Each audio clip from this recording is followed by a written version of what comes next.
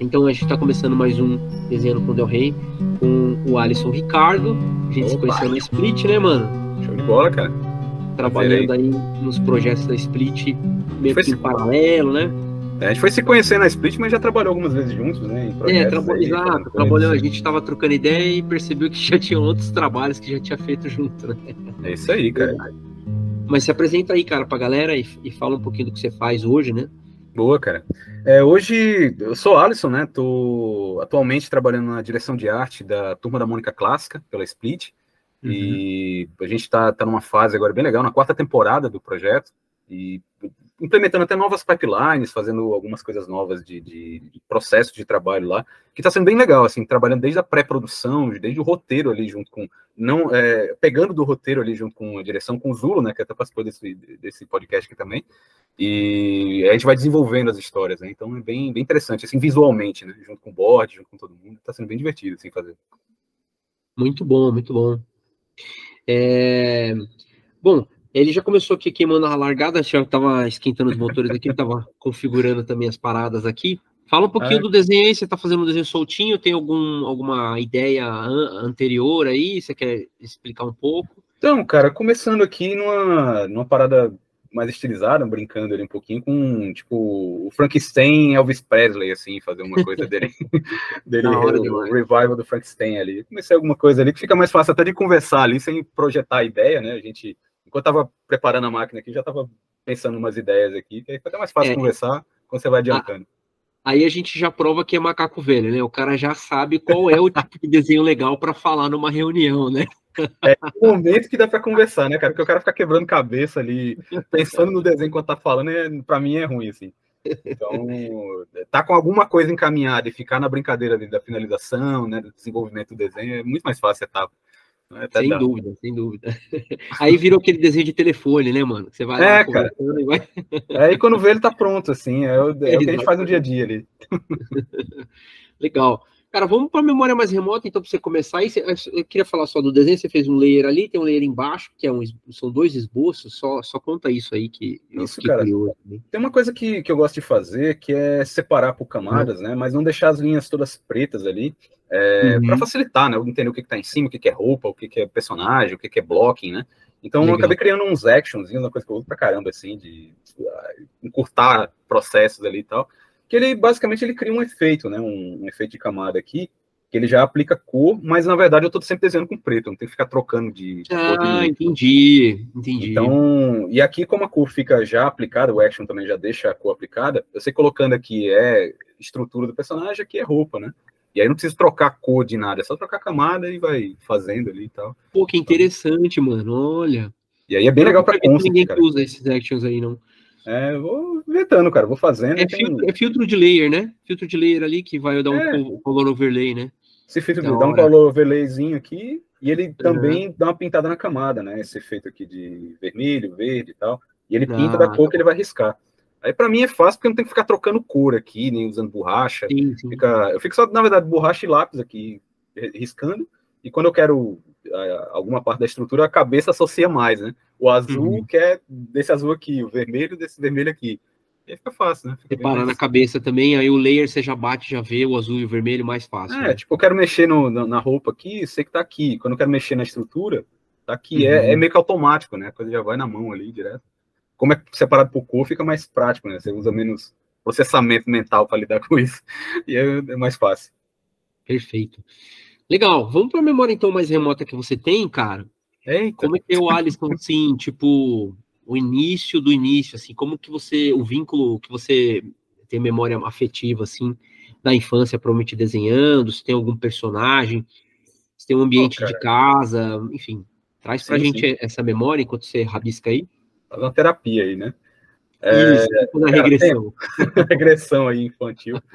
É, cara, lembrando assim de desenho, né? Aquela brincadeira que, que a gente fica ali, né? De, de- de desenhar Uhum. personagens e tal. Eu já desenhei uma tur- turma da Mônica, por acaso, por coincidência ali. é, acho que quase todo mundo ali começou de alguma maneira a Total. ver com a turma da Mônica, né? Seja lendo quadrinho para aprender a ler, seja comendo uma maçãzinha quando era criança, qualquer coisa desse tipo.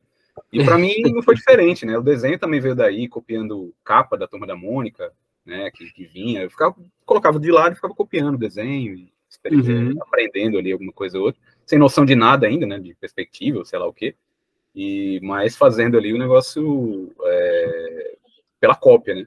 E fui pegando gosto pela coisa e tal, bem, muitos anos depois, quando era já adolescente, que eu fui pegar um quadrinho de herói, assim, mas eu passei muito tempo desenhando coisa estilizada e muito, é, e, e, eu lembro de Turma da Mônica, era, era a coisa mais é, direta que eu tinha ali para lidar. Uhum, uhum. Acho que era isso, Demais. cara. Criança, primeira memória seria isso. É, turma da Mônica, tipo, em casa, é, tinha, chegou a dividir com algum amigo isso? Que idade também, para saber assim, mais ou menos a idade?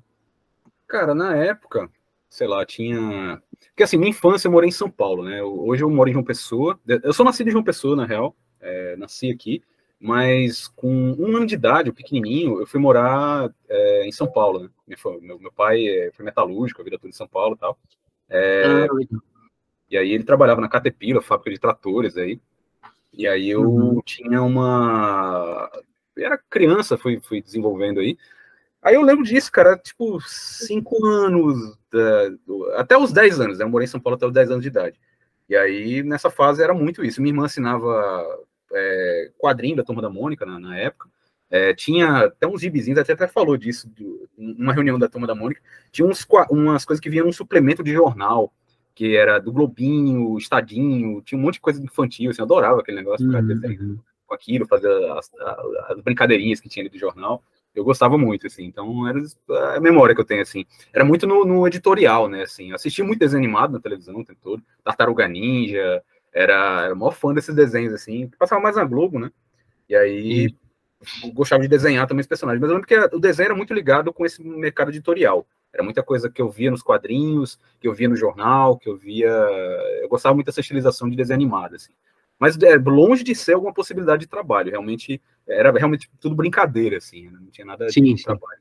Eu nem sabia como era feito desenho animado, assim. Era uma coisa muito surreal, assim. Um personagem andando, assim. Que, que, que, como é que faz isso funcionar, né? Sim, sim. A gente tem uma memória que é, é, desses desenhos como mais uma brincadeira, né, cara, na verdade, né? É, cara, era. Tinha até. Eu lembro que, tipo, o meu maior. O desafio que eu fazia era quando eu fazia, sei lá, dois desenhos num dia, porque eu nunca precisava fazer essa quantidade, né? A gente fazia um desenhozinho, parava e depois eu, sei lá, fazer qualquer coisa que criança faz, ele brincar, assistir televisão. Não era uma coisa de, de, de fazer um monte por dia, assim. Fazia um só e curtia aquele desenho ali e tal, mostrar pra família. Era mais de boas, assim. Hoje olha lá, mais um, mais um maluco que usa também o, o laço para fazer o shape, lá. É, cara, eu adoro fazer assim. Acho que fica muito. É muito mais fácil fazer design assim, né? Dessa maneira. Acho que. Legal. Sendo mais... Aí faz uma silhuetona para você sentir o contraste, sentir a silhueta, né? É, eu dou uma baixada até no tom. Tem hora que eu, eu vou para silhueta quase pura, assim, né? Eu vou ver ali como é que tá ficando, se tá ficando interessante a silhueta, se tá, tá uhum. claro, se a coisa pode melhorar. O desenho é mais uma base para criar essa silhueta, né? Ver o que está funcionando, mas eu meio que vou desenvolvendo por ele. Eu acabei de fazer um corte, cara, lá pro Instagram do, do Caniço, hum. é, dessas, dessas retratos que eu fiz para retrospectiva, uhum. os falecidos, né, de 2023, e, e eu tava falando justamente isso, assim, né, que o desenho, o, o esboço, ele é só o start, né, cara, depois a gente lapida ele bem, né, então é, é um bate-bola constante, né? É, eu, eu começo a pensar muito em design, assim, né? Essa coisa de. Aqui é um desenho simétrico, né? Acaba que ele é um pouco mais rígido ali. Eu decidi fazer um personagem meio mortão, assim, então ele é mais duro. Mas geralmente eu fico pensando, né, em, em pontos ali, é, se tá legível, principalmente por causa da animação, né? A animação ela tem muito. É um dos princípios da animação, né? O staging, o staging, né? Deixar o personagem o mais legível possível na tela. Então eu peguei muito isso. E aí ver uhum. como é que o design tá funcionando, se o lado complexo, o lado simples, se tá é, equilibrado, se tá interessante, às vezes dou uma flipada, né, ver se tá, tá legal sim, em todas as listas, né. Eu gosto muito de pensar no design, assim, é, aí quando eu vou fazer, depende do desenho também, né, tem alguns desenhos que é para ser mais simples, mais rápido, esse aqui eu vou começar a dar um tratamento um pouco mais volumétrico, então, por causa disso, eu começo nessa silhueta e depois eu trabalho a partir daí, assim, eu gosto de fazer muito isso. Muito legal. Mas, então vou progredir na sua timeline, eu fiz essa interrompida aí, porque eu, eu me senti, como é que fala? É... representado. O, reflexo, assim, falei, ufa, ainda bem, mais um. Mais um, mais um maluco que faz isso. pois é, Legal. Cara. Vai, mas vamos contar aí, então, sua próxima parada aí, cara. Então, desse desenho, um, dessas referências aí. É... Sim, cara. Não sei se você quer contar um pouco como é que era em casa, se você teve apoio. É... Cara, até que sim. É. Meus pais, eles têm, eles têm muito mais idade do que a média, né? Eles já me tiveram, assim, uhum. com idade avançada, né? Já, eu nasci, meu pai já tinha 40 e poucos anos, minha mãe uhum. também. Então, assim, eles já têm uma idade mais madura, assim. Meu pai, ele tem não tem formação escolar praticamente, só fez até a quarta série, minha mãe dona de casa tal.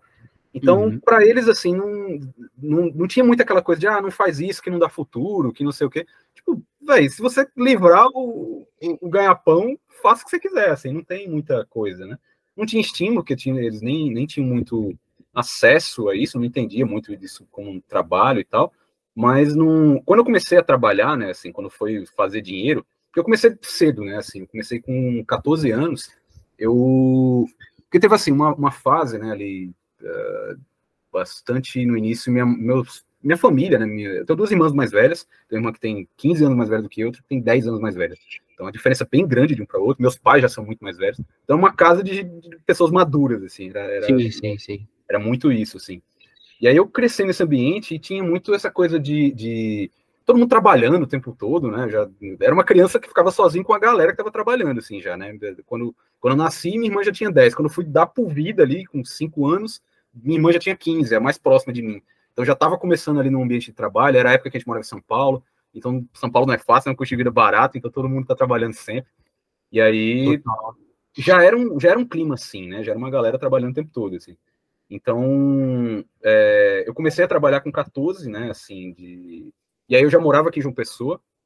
É, o pessoal fez uma, uma, Minha família, assim, fez uma vaquinha e comprou um computador usado. Computador que eu acho que era quase um calculador, um 486, assim, na época. Um negócio... e não só porque, por causa da minha idade, né? Já tô com 38 já, mas também porque era o que dava na época. Ele era muito mais velho do que o normal, assim. Era, tipo, a galera já estava trabalhando com os computadores bem mais avançados e eu estava com essa carroça lá, que era o que dava. E, e, achava fantástico, né? Assim, eu não, ainda estava aprendendo a mexer em computação gráfica, CorelDRAW ainda, tudo né, na época. E aí foi os primeiros contatos que eu fui tendo ali com, com isso, né? E aí, já o segundo computador que eu fui, já foi com, foi eu comprei, já com 16 anos, já 15 anos, 16 anos. E aí já foi com trabalho já, e fazendo vetor para fazer adesivo vinílico, assim, para algumas coisas da, da, da, vizinhança, assim. Do, eu, moro num, eu morava num bairro, né, um bairro de Mangabeira, em João Pessoa, que é um bairro popular, assim, tem um comércio bem, bem denso, assim. E aí ele tem muito cabeleireiro, padaria, sabe, comércio popular, assim.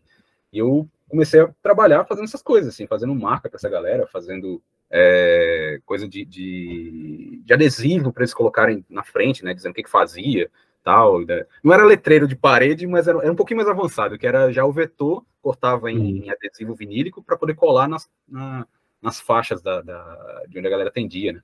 Então, e fui pegando, né, a manha de, de trabalho desse jeito, assim, então... Mas aí me, me, conta um pouco aí, como é que você descolou esse trabalho? Vamos fazer essa, esse recorte, assim, tipo, porque isso isso pré, pressupõe ah. que você aprendeu o vetor em algum lugar, né? Tipo, foi em algum curso, foi direto no trampo. Assim, teve um, um, Na prática era assim, tinha um amigo do meu cunhado, na verdade, que ele ele mexia com, com adesivo vinílico, ele fazia isso, né, de, de para quem não sabe, é um, um, adesivo cortado numa lâmina, né, de, se chama de plotter, né, você coloca o arquivo lá em vetor, ele, a lâmina parte adesivo para poder, não é um adesivo impresso, ele é recortado. Comunicação aí, visual, né? É, e por isso, é, comunicação visual, e por isso que ele tem que ser vetorizado, né, tudo que vai ser feito nele tinha que ser vetorizado.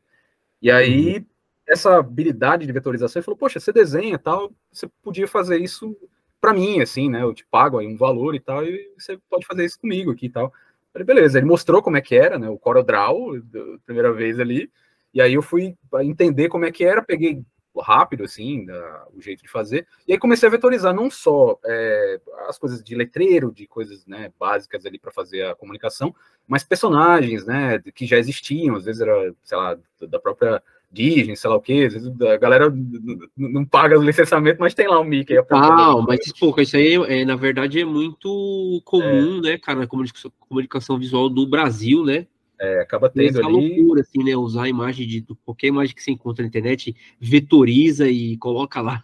É. e pronto, e dane-se, né, cara? E, tanto, tanto, e, de, e de esfirraria, então, né, cara? Com o Aladim. Demais, cara. Tem Aladim pra tudo que é lado, né, cara?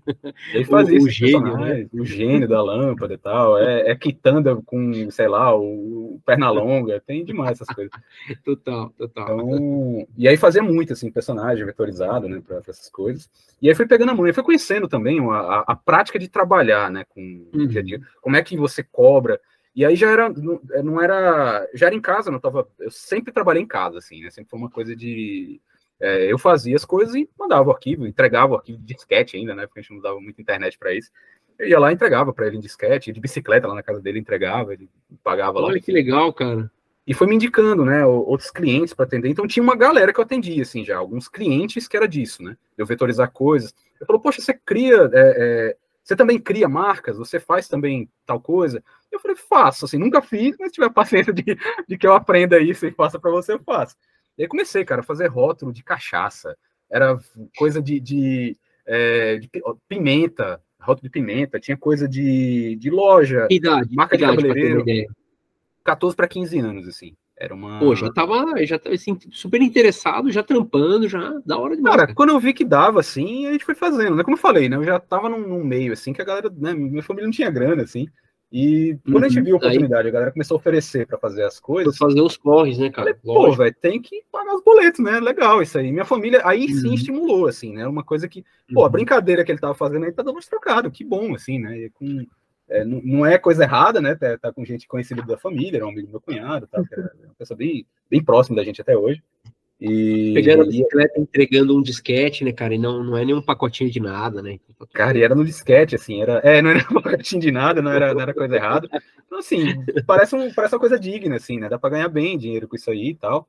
Fui juntando Legal. e tudo mais, e como uhum. eu falei, depois é para comprar computador e tudo mais com esse negócio é, scanner, né? O scanner já é um pouquinho mais adiante, é um pouco da. Um passo é. adiante na história. Mas sempre foi isso, essa autonomia de conseguir é, me virar um pouco ali com as coisas, e sempre foi bem legal, assim. Por isso que minha família sempre estimulou. E, e você acha que isso foi inspirado pelo, pela galera fazendo os corres na sua casa, né?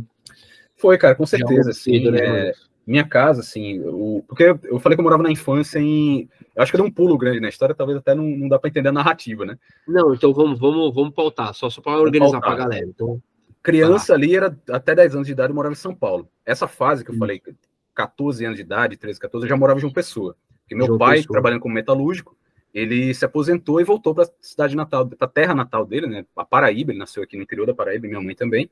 É, uhum. E voltaram para cá. Eu nasci na cidade, numa dessas vindas que eles vieram para a cidade, e voltei para lá. Minhas duas irmãs são paulistas. Então a, a coisa uhum. ficou meio misturada, assim, né? Minha família é uma parte de São Paulo, uma parte de João Pessoa. E aí eu vim para João Pessoa de fato para conhecer. Com um ano de idade você não tem juízo de nada, né? Então conheci a cidade, tinha um sotaque super forte, assim, de porta, carne, porco.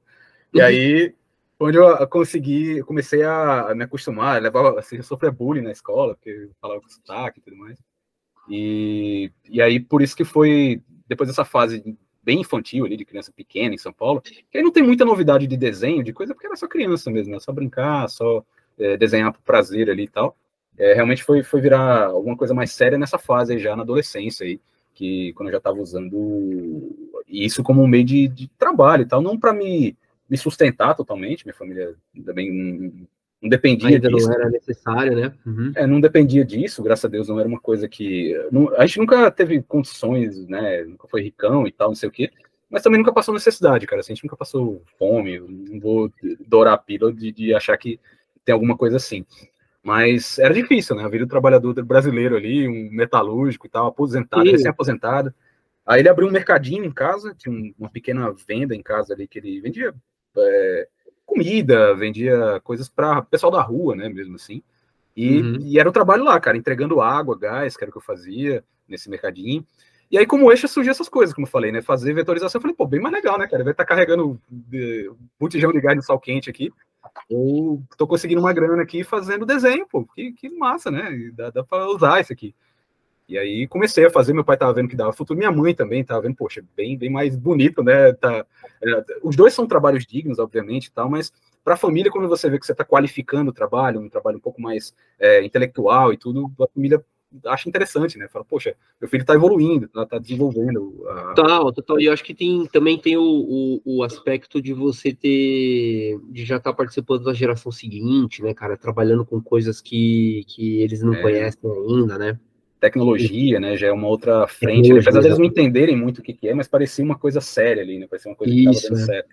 Então, não era só doideira ali, de, de, de, Hoje em dia tem muito trabalho que o pessoal faz remotamente, acho que até sofre um pouco mais, assim, que é, é um pouco mais abstrato, né, eu acho que esse perfil de família é bem comum no Brasil, né, de pessoas, os pais, né, não tem muita instrução e aí não conhece, não conhece muito esse universo, e aí a molecada quer explicar para os pais o que, que é um concept pela internet, o que, que é um commission, né? Então uhum. é um uhum. pouco mais difícil. No meu caso, eu acabei não passando por isso, porque era real, né, cara? Eu tava fazendo marca para um cabeleireiro que tá ali real na esquina ali e tal.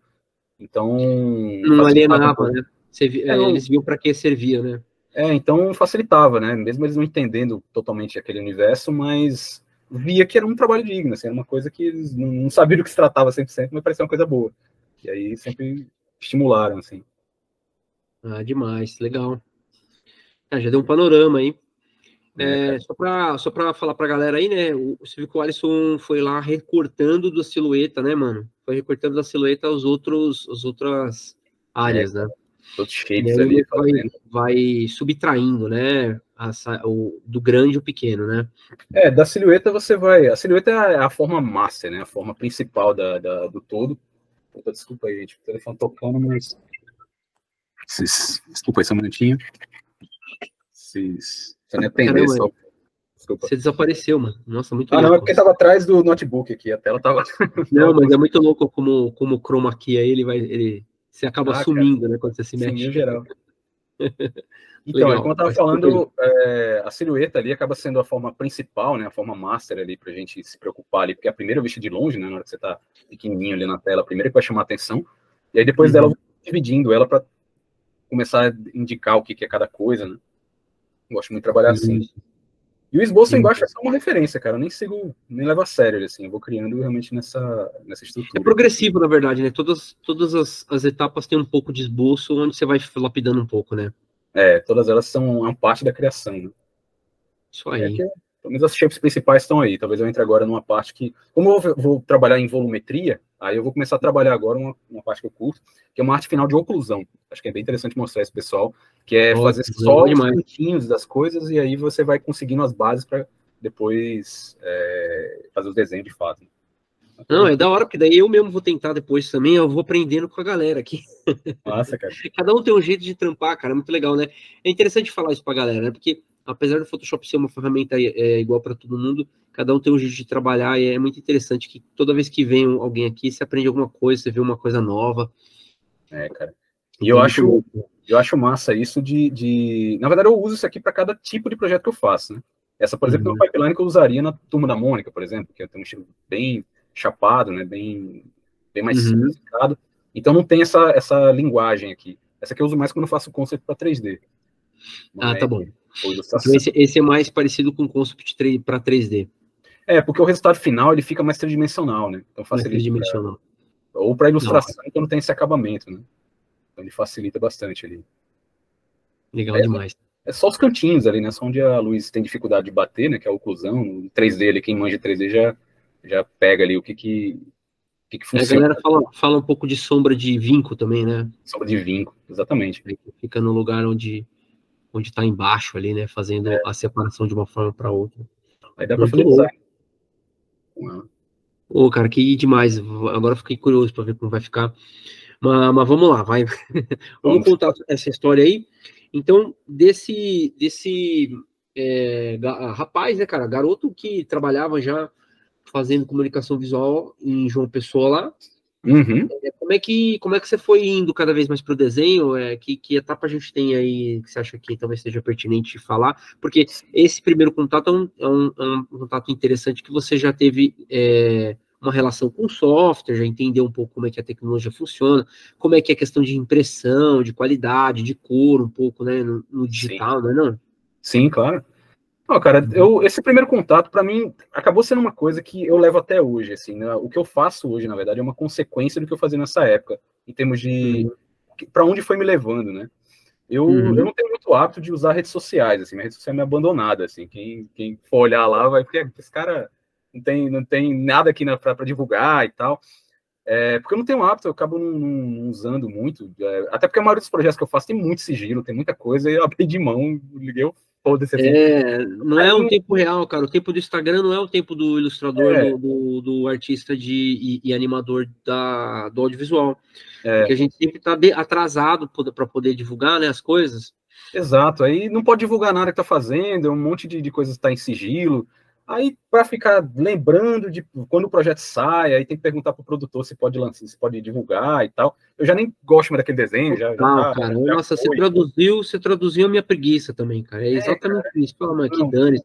É, é, a, galera, a galera pode ter perguntado, não sei se isso ocorreu aqui, ah, mas você não postou nada do Elvis que você trabalhou? E é um pouco do Elvis, porque assim, cara, chegou num momento que a hora que foi lançado, já, já nem lembrava onde estavam os arquivos, demorou um pouco para entender o que, né? Sabe aquela aquele delay assim, é, você cara. situar, né, cara? Aí você não tá muito na vibe ali de divulgar e tal. Eu acho que pra, dependendo de como você começou, como no meu caso, eu não dependia disso no início, né? É porque para gerações hoje é meio faz parte da formação da galera tá na internet, né? Tem é. que estar tá na internet, senão você não, não tem é, importância, é obsoleto e tal. Mas para quem já não é disso, acaba não sendo um essencial, né? Seguidor é interessante e tal, mas não é que paga boleto no final, então você não. Isso, não isso a gente não... não é prioridade, né? É, se habituou a não valorizar, né? É, não tem Inclusive, muito. até é interessante de, de abrir um, um, só um debate assim, né? Porque eu já, já tive alguns papos ah, recentemente sobre essa supervalorização do mundo da internet do jovem, né? Assim, e como, e como de certa maneira, é, quase todas as imagens que a gente vê a galera é, é, criar e valorizar são meio que falsas, assim, né? Tipo, é, nem é o, o, tempo, mesmo, mesmo sendo live, né, cara? Mesmo, mesmo tendo essa, essa vibe de que é live, de que é postagem todo dia, todas as coisas sempre estão muito atrasadas, né? E, e vão é, encaixar na vida da pessoa de uma forma totalmente desconectada com uma realidade, assim, tal, né? Então, é, é até engraçado e triste você ver as pessoas sofrendo, né, com é, é, cara, é, a rede social, né, cara? Ah, falaram de mim, ou olha o que aconteceu com aquela pessoa, tipo, né, mano? Você fala, cara, é tão distante, tão alienado da minha, da minha vida, né? Por que, que é, isso importa, né, de alguma forma? Como que você vê isso, assim, só para esse parênteses, assim? Não, cara, tem. É como eu falo, assim, cria ansiedade, assim, eu não, eu não fico alheio a isso, não quer dizer que a pessoa não fique. É uma das coisas até que eu evito, sabe, assim, eu acho. É meio uhum. tóxico, assim, o, o ambiente, assim, para mim, eu não. É, é legal porque você conhece muita gente, né? Eu acho que é, te favorece. Eu já tive, conheci muita gente, conheci você também, acho que foi um dos casos da gente se conhecer. A gente nunca se viu pessoalmente, a Split que eu trabalho hoje, é, apesar que eu visitei a Split pessoalmente, né, antes de começar a trabalhar e tal, foi um contato uhum. muito presencial, que é, entra um pouco no que eu vou continuar na timeline ali da história. Claro, claro, é, claro. Mas tem um lado muito negativo, cara, da galera ficar. É, é, muito pesado ali, essa coisa de comparação, né, velho? A hora da comparação é a pior que tem. Você, poxa, meu, meu desenho não tá tão bom quanto o de fulano, é, eu não estou conseguindo fazer as mesmas coisas que alguém da minha geração está fazendo. E, cara, isso. isso é tóxico. Isso é muito ruim, assim, isso faz muito mal. E aí eu evito esse tipo de coisa, assim, eu realmente me afasto, assim, não gosto de, de, de, desse universo, assim, e tento focar na minha vida mesmo, assim, no que é legal dela ali, do, é, do, o presente, como é que eu faço para melhorar o, o de ontem, sabe, assim, é, o meu desenho de ontem, o trabalho que eu estava fazendo ontem, se eu tô satisfeito é, com o negócio... passado, requentando o passado, tem toda a razão, mano. É, cara, é, ser melhor é, do que você era ontem, não do que alguém é hoje, sabe? Com o que eles têm ali, ou que mostraram na internet que são. Então, eu tento ser menos intoxicado por esse universo, assim. Perfeito, cara. E não, é uma puta mensagem legal, viu, Alisson? Massa. Porque a gente estava falando antes, talvez, e provavelmente a gente vai cair nesse assunto aqui, né, mais para frente. Uhum. Hum, não, não vou me estender muito nisso, mas é legal para dar uma, uma, uma ideia do que, que conversa que a gente vai ter mais para adiante que é essa coisa assim, uma pessoa organizada, tendo que pagar boleto, tendo que resolver as coisas, e você já mostrou que você é desde cedo, né, preocupado nisso e tal. Uhum. É, não tem tempo para requentar esse passado, não, né? Não tem tempo para ficar, né? Tipo, ó, oh, será não gostaram do meu desenho ou não gostaram da minha foto, né, cara? Pô, isso aí é tão, é tão pequeno, é tão desimportante, é, né, mano? A gente tá realmente construindo no presente mesmo, né? Tipo assim, a série que, que eu fiz já foi, né, meu? No máximo é. vai ter alguma menção no meu LinkedIn lá e já era, entendeu? E, e é, sabe? É muito isso, você tá preocupado, assim, tem, claro que tem isso, assim, também, né, o que você fez de projeto, o que você é, resolveu de problema, né? é a construção da sua história, né, assim, e é óbvio que o que vai é, trazer novas oportunidades ou novas coisas que você vai fazer é essa história que você tem para contar, o que é a única referência que alguém tem de saber se você é capaz de fazer aquele projeto ou aquela demanda que está surgindo ali. Então é uhum. natural que vem em pauta, né? A pessoa vai querer saber por onde você passou, o que, que você fez, cadê teu portfólio, cadê duas coisas, né? Mas é um, como você falou, é uma construção em tempo real, cara, assim, não, não é, é e, e, não dá para ficar se comparando, né, com quem, é, a realidade é muito variada, né, tem, acho que dá até para voltar para a timeline, que aí já entra né, nesses Total, tópicos, total, depois a gente deixa isso para mais para frente, tá legal. Porque tem, tem ligação então. direta com isso, assim, né, não, não, é nem que eu estou hum. mudando de assunto, assim, é o mesmo assunto, não, legal, é, legal. ilustra a mesma ideia, né, por exemplo, a gente estava falando ali da desse início, né? Eu estava trabalhando é, com desenho para, é, sei lá, cabeleireiro, padaria, o que aparecesse na frente.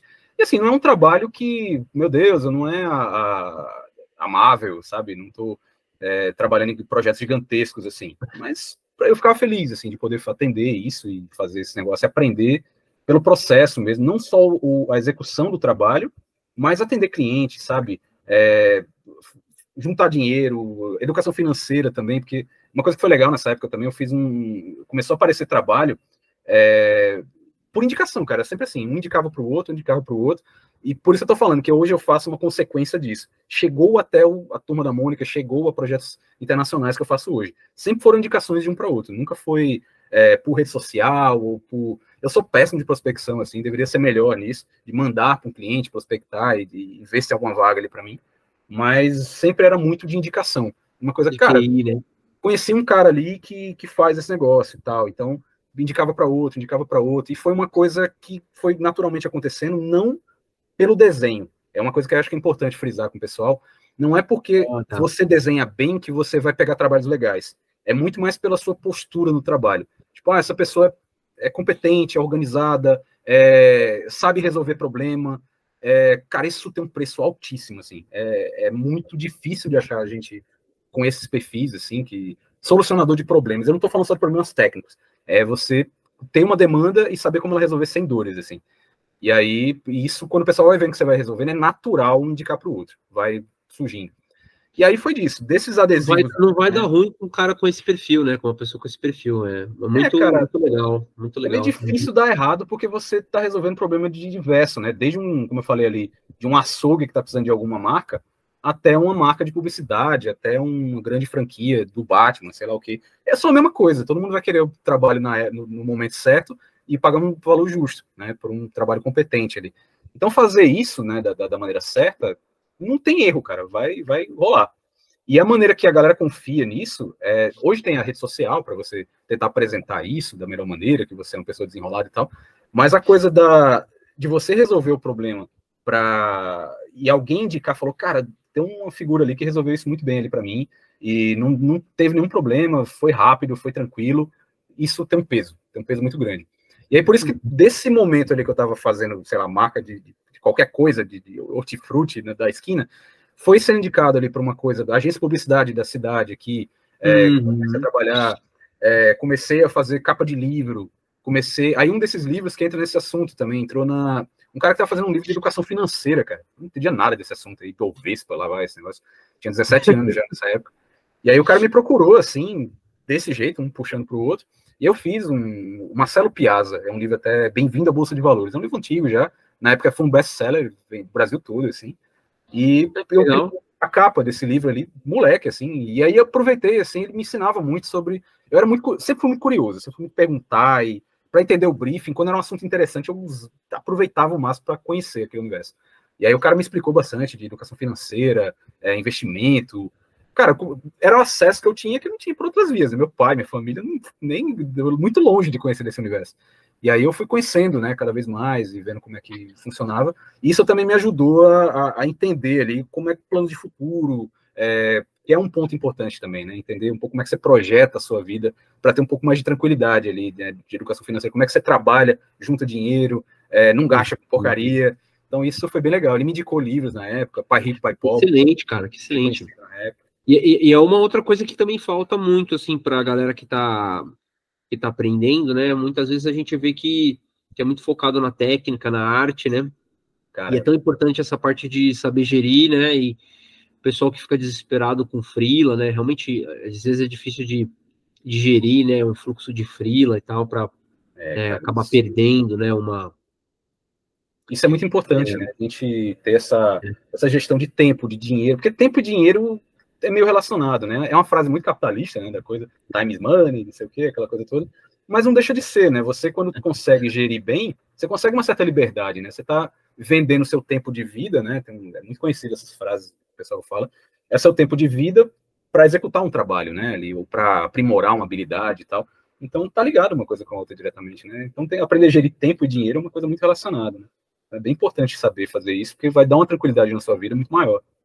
É bem, bem total, importante. total, muito bom. Não, muito legal. E aí, então, e aí foi para agência, começou então a ir para agência lá na, por causa dessas indicações. Isso, cara, aí fui chegando em agência, comecei a trabalhar em agência aqui em João Pessoa mesmo. É, uhum. O primeiro foi uma catástrofe, assim, eu achava super complexo, assim, trabalhar no ambiente de, de agência. As criações, assim, são complexas de, de fazer, né? É, uhum. Na época, como eu já fazia trabalho, quer ou não, eu já fazia folder para esses pequenos vendedores locais e tal, e aí já entendia mais ou menos como fazia, mas era diferente de eu criar uma campanha, né? Você criar um, uma coisa muito mais complexa, assim, criar visualmente, ser o diretor de arte de alguma coisa. Eu, moleque ainda, assim, não entendia muito como é que era feito. E, e era sofrido, assim, para mim. Era uma coisa bem. Passei pouco tempo, assim, né, na primeira agência que, que eu trabalhei. É, era uma experiência que, que, era estranha, todo mundo falava muito mal, eu não entendia muito por que, que a gente do pessoal reclamava tanto é, de, de, do dia a dia de trabalho, que era pesado. Pelo menos eu não vivi isso no primeiro momento, era estagiário mais, mais básico ali. Ah, tá. Então você não e viveu o perrengue, não vivia né? as madrugadas ali de trabalho que a galera geralmente lida depois, né, assim.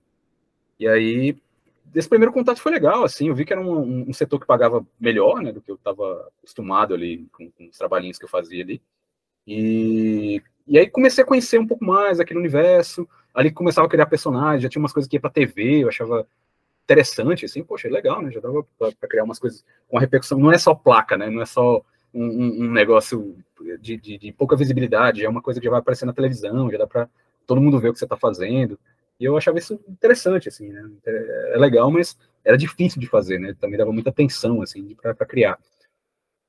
E aí foi onde eu, eu comecei a, a, a, ter contato com esse mercado, fui vendo no, o que, que era isso além do que eu estava fazendo em casa ali, com aquela galera dos vendedores locais ali, né? Onde é que se insere isso, né, socialmente? Uhum. Onde é que é uhum. o trabalho tá? É publicidade, é comunicação, é ajudar nas vendas, é, é você entender um pouco onde é que você se encaixa nesse universo, né? Uhum. E aí foi legal para mim entender que eu fazia parte do setor de comunicação, do setor de audiovisual, do, do, ah, de comunicação tá. como um todo, né, de vendas e, e, entender como é que isso virava posteriormente uma, uma, profissão ligada a coisas mais complexas e tal. E aí foi onde eu comecei a ter essa visão, né? Acho que valeu a pena para isso, assim. E aí aumentaram também os contatos, né? Quer ou não, os contatos dessa área são outros, né? Acabou tendo uma galera que fazia vídeo, uma galera que fazia impressos, né? eram várias outras coisas ali que, que eu entendi ali, que valia a pena, assim. Então era muito aprendizado com a mão na massa, né, entender ali, enquanto, sempre perguntando, você foi muito xereta, assim. Quando eu via qualquer coisa diferente, assim, perguntava, caraca, o que, que é isso? Isso é uma câmera, como é que isso funcionava? Edição, o que, que é isso? E como é que faz isso? Para que, que serve? O que, que você tem que fazer aí? O que, que onde é que você estudou para fazer isso? Eu sempre fui muito chato, assim, de, de pentelhar os caras, mas a galera sempre foi muito simpática, assim, comigo, eu sempre gostava de me comunicar. Claro, né, é, é, é, eu, eu, pelo menos acho muito legal quando, né, aparece uma pessoa curiosa, assim, querendo entender, né. Uhum. Sempre tem a galera que dá aquela segurada, né, o pessoal fica meio tenso ali, ah, o que você quer saber demais aqui? O que você tá perguntando? mas muita gente era gente boa, assim, aprendi muito com, com quem me explicava, assim, as coisas. Legal. E e assim, esses trabalhos eram, era muito ainda comunicação visual, você ainda estava é, trabalhando é, com, com, letra, com design, né? Imagino. É, na agência já entrava coisas mais elaboradas, né? Assim, eu, eu passei pouco tempo em agência, né, no início. É, acho que eu passei, sei lá, uns dois meses, eu acho só.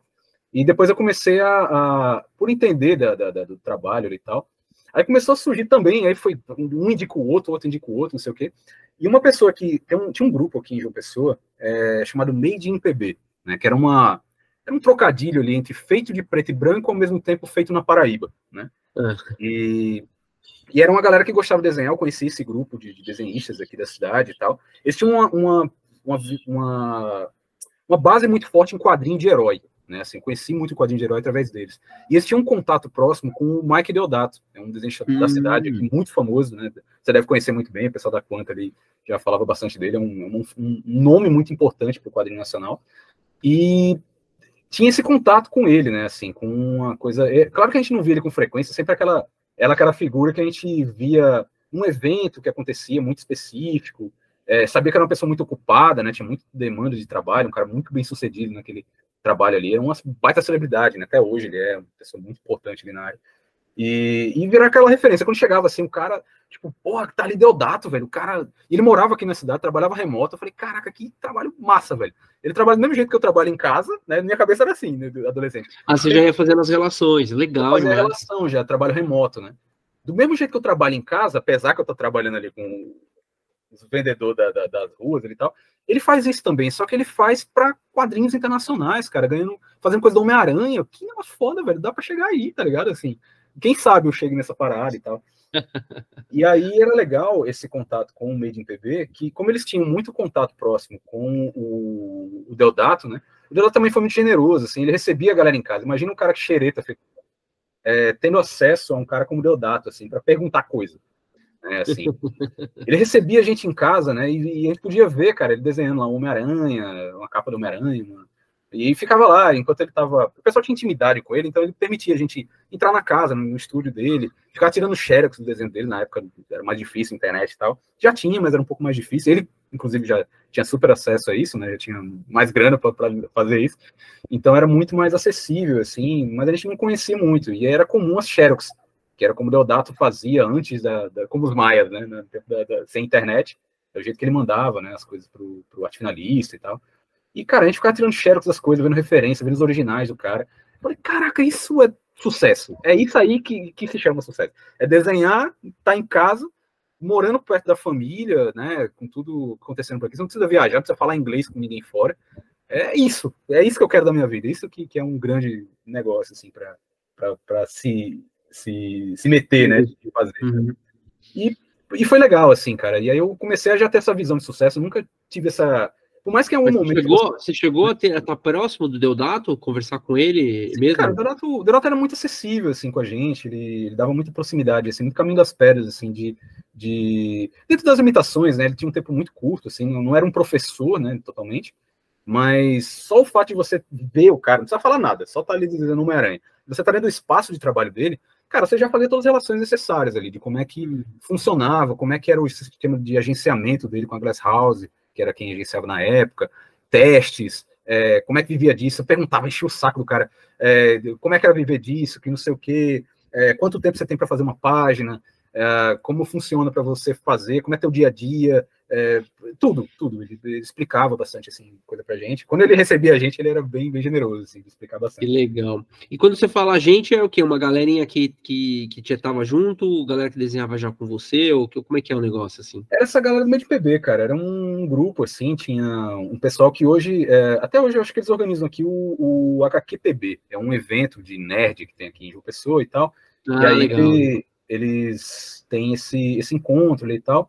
E era isso, a galera se ajudando, assim, como é um cenário, aqui em João Pessoa não tem muita é, mercado para desenho, nem se fala, né, assim, é só esses pontos fora da curva, assim, né, o Deodato, o Chico, é, tem, tem uma galera de, de quadrinho, aqui tem um cenário, acabou tendo um cenário reconhecido de quadrinho, hum, e não tem no mercado aqui, isso aqui é louco, assim, não, não tem muita, você não vê muito rolando isso, mas tem muita gente aficionada por quadrinhos aqui, e muita gente Sim. produz quadrinho de renome nacional, internacional, é, que formou um cenário, assim, pesquisadores da área, né? É, todo o pessoal de universidade mesmo, escrevendo livros sobre a área, tendo publicações independentes, é, comic shops.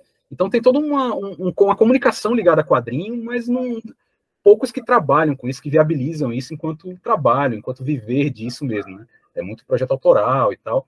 É, e não tinha curso, não tinha nada disso. Então a galera ficava se ajudando de como é que a gente conseguia informação, como é que a gente é, avaliava o desenho do outro ali, como é que é, evoluía, né, cara? Como é que a gente fazia isso acontecer? Assim, não tinha uma conta, não tinha. A gente gostaria muito de ter uma, uma, estrutura. Poder ter, né, um, uma, uma referência assim. E aí a gente se ajudava, né? E aí essa galerinha que, que se encontrava, assim, todo final de semana a gente se batia assim, na casa de um, um dos nossos amigos lá, que era o Janúncio Neto. E aí foi se conhecendo, né? Entendendo como se profissionalizar e tal, e pra frente. Né? Acho que era muito Nossa, isso. demais, cara. É, esses grupos são muito importantes, cara. Quanto mais afastado você tá, né, cara? Para é, te dar uma dimensão um pouco mais uh, real é. do que, que para onde você pode ir, né, cara? Dar, dar alguma perspectiva ali, né?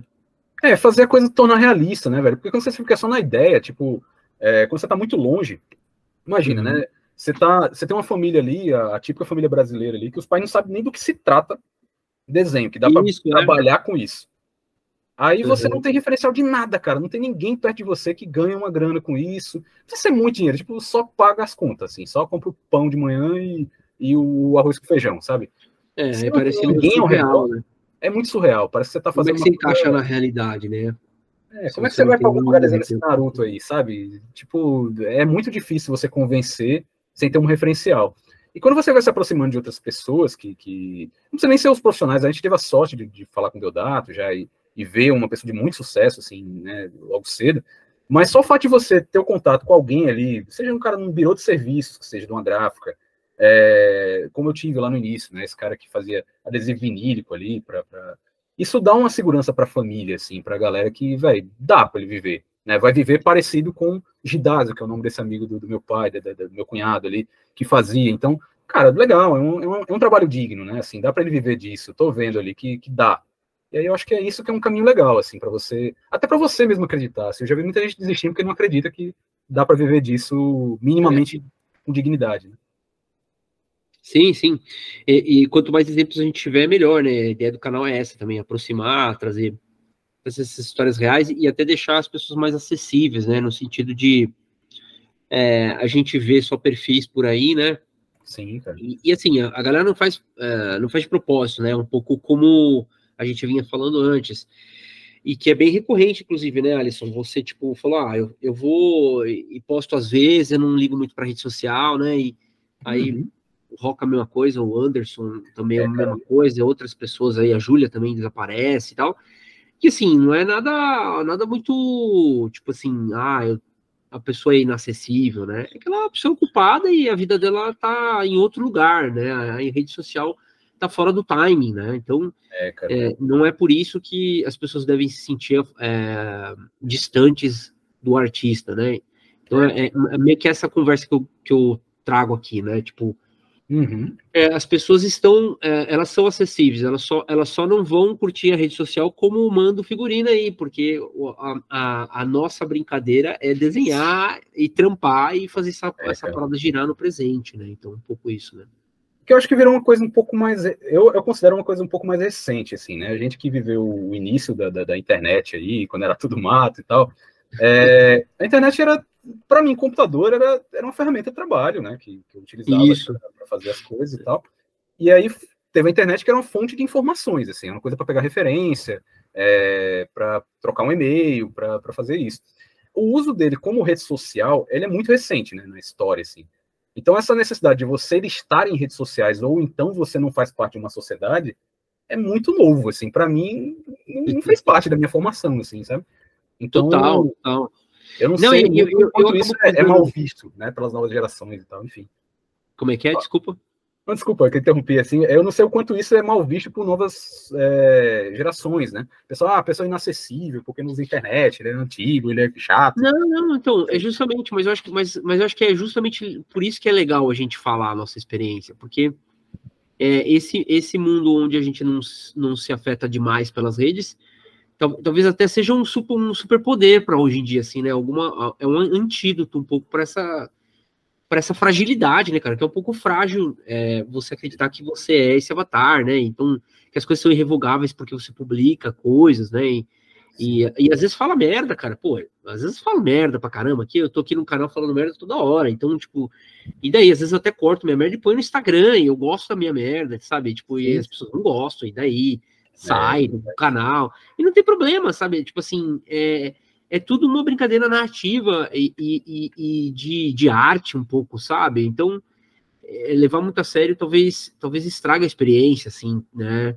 De. Que nem você falou, né? Essa curiosidade toda que você teve e de, e de tá, uh, circular por esses ambientes, extrair o melhor que você poder, podia dessas coisas, é, e estava sempre uh, na necessidade, estava sempre com o foco de trazer para si, né, um pouco, né? Então, uhum. não é não é sobre a generosidade do outro não ser suficiente, é sobre você estar tá atento o suficiente para extrair aquilo que você precisa, né? Sim. E aí eu, eu acho que tudo se conecta de alguma forma, assim, né? Acho, acho que quando você é frágil demais, assim, você pode acabar não aproveitando as oportunidades, né? Que, cara, são imensas na internet, né, cara? Canais como esse aqui, canais como outros ainda que eu me inspirei para fazer, tipo galera que faz uh, consegue fazer aula com russo, com chinês, né, meu, de uhum. pintura, uhum. óleo. Pô, cara, então é, não é um lugar você necessariamente para você se deprimir, né, cara? É, é, um, é um, lugar para você se ficar, caramba, velho, olha quanta cara, coisa da hora, né, cara? Né? É uma puta fonte de informação, cara. Eu sou maravilhado exato, com a internet. Assim. Exato. Assim, então, quanto ela, ela traz de, de informação. Eu Exatamente. Procuro, fazer cursos né, internacionais e tal, nacionais também, ter contatos com mais aprendizado. Comigo é essa tara de, de informação, assim, eu gosto muito de buscar informação de tudo, assim, toda hora. É, eu, eu, sempre, eu, eu sou meio viciado, assim, na adrenalina de fazer um negócio que eu nunca fiz, assim. Então, uhum. eu sempre uhum. vou estar fuçando é, na, nos próprios trabalhos, né, cara? Quando eu fui enveredando ali, da, saindo um pouco da, da publicidade e trabalhando em outras áreas, né? Aí foi começando a entender mais de animação, né? É, era muito isso, cara, de, de, quebrar a cabeça ali de como é que eu posso fazer esse negócio funcionar. É, e. Peraí, só um minutinho. Ai, Legal, depois a gente aproveita para falar um pouco sobre o que, que você está fazendo agora. Você está fazendo a segunda sombra, né? A terceira sombra. É, cara, eu gosto de dar uma separada. Essas aqui são sombras projetadas, né? Eu estou usando Isso. aqui um de oclusão. Uhum. Vou dar uma separadinha aqui para me situar. Essas aqui são mais as sombras projetadas, mas eu dou com um pouquinho de volume ali no personagem, já usando laço e tal. Sempre usando Sim. laço do início ao fim. E aí eu vou projetando um pouco. Mas depois já estou entrando um pouquinho aqui no, nas sombras próprias do personagem. Acaba que eu estou misturando as camadas. Ah, aqui. tá, tá legal. Na real, tá já estou entrando um pouquinho na, na volumetria dele. Com mascarazinhas, né? Assim. É um lance que eu aprendi, cara, recente, assim, numa produção do, do Batman ah, Azteca. É? é? a galera do Batman Azteca, eles usam umas paradas que eu achei legal, assim, que é de usar a cor aqui com a máscara, né? Ter essa máscara aqui. Que aí uhum. ele facilita você, inclusive para visualizar o que, que, é o que, né? Isso aqui, o, o, pretão aqui, eu sei que é sombra projetada. Depois que eu vou botando cor, aí eu sei cada cor que tá em cada camada, sem precisar. Hum, legal, legal. Um pouco mais Muito fácil, bom. dá para editar elas e tal. Acho mais. mais que, que legal, que legal. Muito bom. Olha os toques aí, cara. É, essa conversa até, inclusive, eu tô, tô, querendo ver se eu, se eu fico um pouco mais atento nos processos aí, a gente discute mais a arte enquanto fala aqui, né? Então, por isso que eu tô te interrompendo mais, viu, Alisson? Ah, Porque a galera vem, né? E é lógico que o papo da história da pessoa é muito bom, né? A gente tá dando vários toques sobre, sobre como você pode encarar a rede social, como você pode encarar a sua, a sua arte, como você pode aproveitar a internet de uma forma saudável. Nós estamos falando de tudo isso e é muito legal, né? E, e, é óbvio que o chamariz, né, na hora que a gente corta, a galera quer só saber da técnica e tal, né? Mas passar por esses assuntos também é importante. Então, acho que acho que aí a conversa fica fica num nível muito legal para o pessoal aprender é, tudo, tudo isso, né? Porque o artista é tudo isso, né, cara? É a técnica e como você faz para chegar até a técnica, né? É que, na verdade, para mim, assim, eu, a, a, técnica é importante. Eu, eu, também escuto, né, o podcast, às vezes, e tal. Você fica muito, caraca, o que, que esse cara fez aí e tal. Fica mais preocupado em aprender alguma coisa ali. É, mas é muito, para mim, pelo menos, é, é, muito essa, essa... O jeito que a pessoa pesquisa, o jeito que você... Na, é aquela coisa, não é o... Não é isso aqui que eu estou fazendo que vai resolver seu trabalho. Até porque para desenvolver seu estilo, você vai ter que buscar suas isso, ferramentas, que fazer. Processos, né?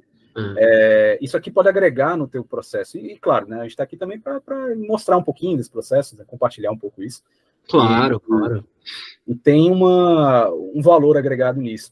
Mas, na verdade, o que vai fazer a diferença é esse jeito de, de, de pesquisar. Né? A internet é um lugar gigante para você é, aprender coisas, né, desenvolver possibilidades e tal. E aí ter essa curiosidade infinita sem ficar é, usar ela de um jeito negativo, né, um jeito é, frustrante assim. Eu acho importante, né, a pessoa pegar essa mãe assim de de usar ela o bem, né, cara? Usar ela para uma coisa que é massa, assim, de, de, aprender novas coisas, se desafiar, né, de um jeito positivo. E até se ousar, né, cara? Assim, eu não tava falando, a gente. Quando eu comecei a entrar para a vida da animação, é, eu não sabia nada de animação, cara. Assim, eu, a primeira animação que, que eu fiz alguma coisa, de novo, já era uma, um desdobramento disso. Tem um artista local que é bem conhecido nacionalmente, que é o Chico, né? O Chico, ele é. Ele, ele tem. Ele fez o, o. Como é que é o nome? O Piteco, né? Da Maurício 50 anos. Isso, isso. E ganhou prêmio pra caramba, que ele é um artista muito, muito importante no cenário de quadrinhos. Fez um quadrinho, né? É, o quadrinho. O quadrinho desse, da MSP aí, né? Uhum. E aí ele, na época, ele, ele tava participando de um clipe de uma banda local chamada Chico Correia, né, uma banda daqui da cidade. E uhum. era, era uma, um clipe que tinha umas fotoscopias, tinha umas coisas assim e tal. E eu tinha uhum. recém feito um curso, que inclusive foi onde eu conheci minha esposa. Minha esposa, ela, ela veio desse curso de animação, foi na universidade, um curso aberto, um curso... É, eu, eu entrar na universidade até. E foi onde eu tive contato com a animação, comecei a gostar da área de animação e tal. E foi a. Onde eu vi, né, como é que era feito, eu não tinha nem ideia de como é que era feito, só o básico mesmo, que era é, aquela coisa de mesa de luz e não sei o quê, e filipar desenho e básico. Mas aí nesse curso eu tive uma noção, assim, muito por alto, usando um, um, professor daqui, né, o professor Alberto Júnior, que é um pesquisador da área de animação. Ele, apesar de não tinha nada na universidade ligado a isso, mas ele pesquisa muita coisa nessa área, né? Tem uns livros de, de história da, da, animação que ele lançou e tal. Ele é bem, bem importante, assim, também. E aí, por causa disso, eu falava muito de animação, eu sempre fico muito empolgado com qualquer coisa que eu tô aprendendo, assim, na hora, eu falo com todos os amigos, assim. E aí, eu, na época, tinha um curso de, de desenho que ficava no Espaço Cultural. É, eu fiz parte desse curso, era, na verdade, era um desenho clássico na época, com um professor chamado Cremilson, que era, na, na ocasião, ele era professor lá. E eles tinham até uma divisão ligada a quadrinhos, né, até um professor lá que também dava aula de quadrinhos. E aí, Chico visitava o espaço cultural, acho que ele vivia na região ali e tal, ele gostava muito. Chico, para quem conhece a pessoa que eu tô falando, ele é uma pessoa que gosta muito de, de, de conversar com as pessoas, de se aproximar, ele é muito acessível, assim, com todo mundo. Legal, legal. Ele, Ótimo. Ele né? ia lá no curso, ele ia lá para conversar com a galera, para trocar uma ideia e tal. E aí ele ia lá nesse curso, que aí depois eu virei professor desse curso. Comecei a dar aula. Oh, que legal. E metade da, das da, da, turma, né, metade das vagas era para uma escola pública, a gente dava de graça para a galera aprender desenho e tal, e ter acesso a isso. Sempre uma preocupação grande que eu tinha de dar esse acesso de uma forma que eu não tive, né? Então, era, tinha toda essa, essa participação ali e tal. E aí o Chico chamou a gente e falou, cara, tô falando bastante de animação e tal, tem um clipe, né, que a gente vai, vai fazer, acho que é legal, a gente pode fazer juntos e tal, é, de, da banda, né, de Chico Corrêa Electronic Band. E aí era é um clipe chamado Lele, uma, tem, tá, acho que na internet até hoje, se procurarem, Lele de Chico Corrêa. E, e é com o desenho dele, assim, é, é, um trabalho grande, né? Chico também não anima, ele não é um animador também. E estava ah, se aventurando, ele estava se aventurando ali pela primeira vez em fazer alguma coisa animada.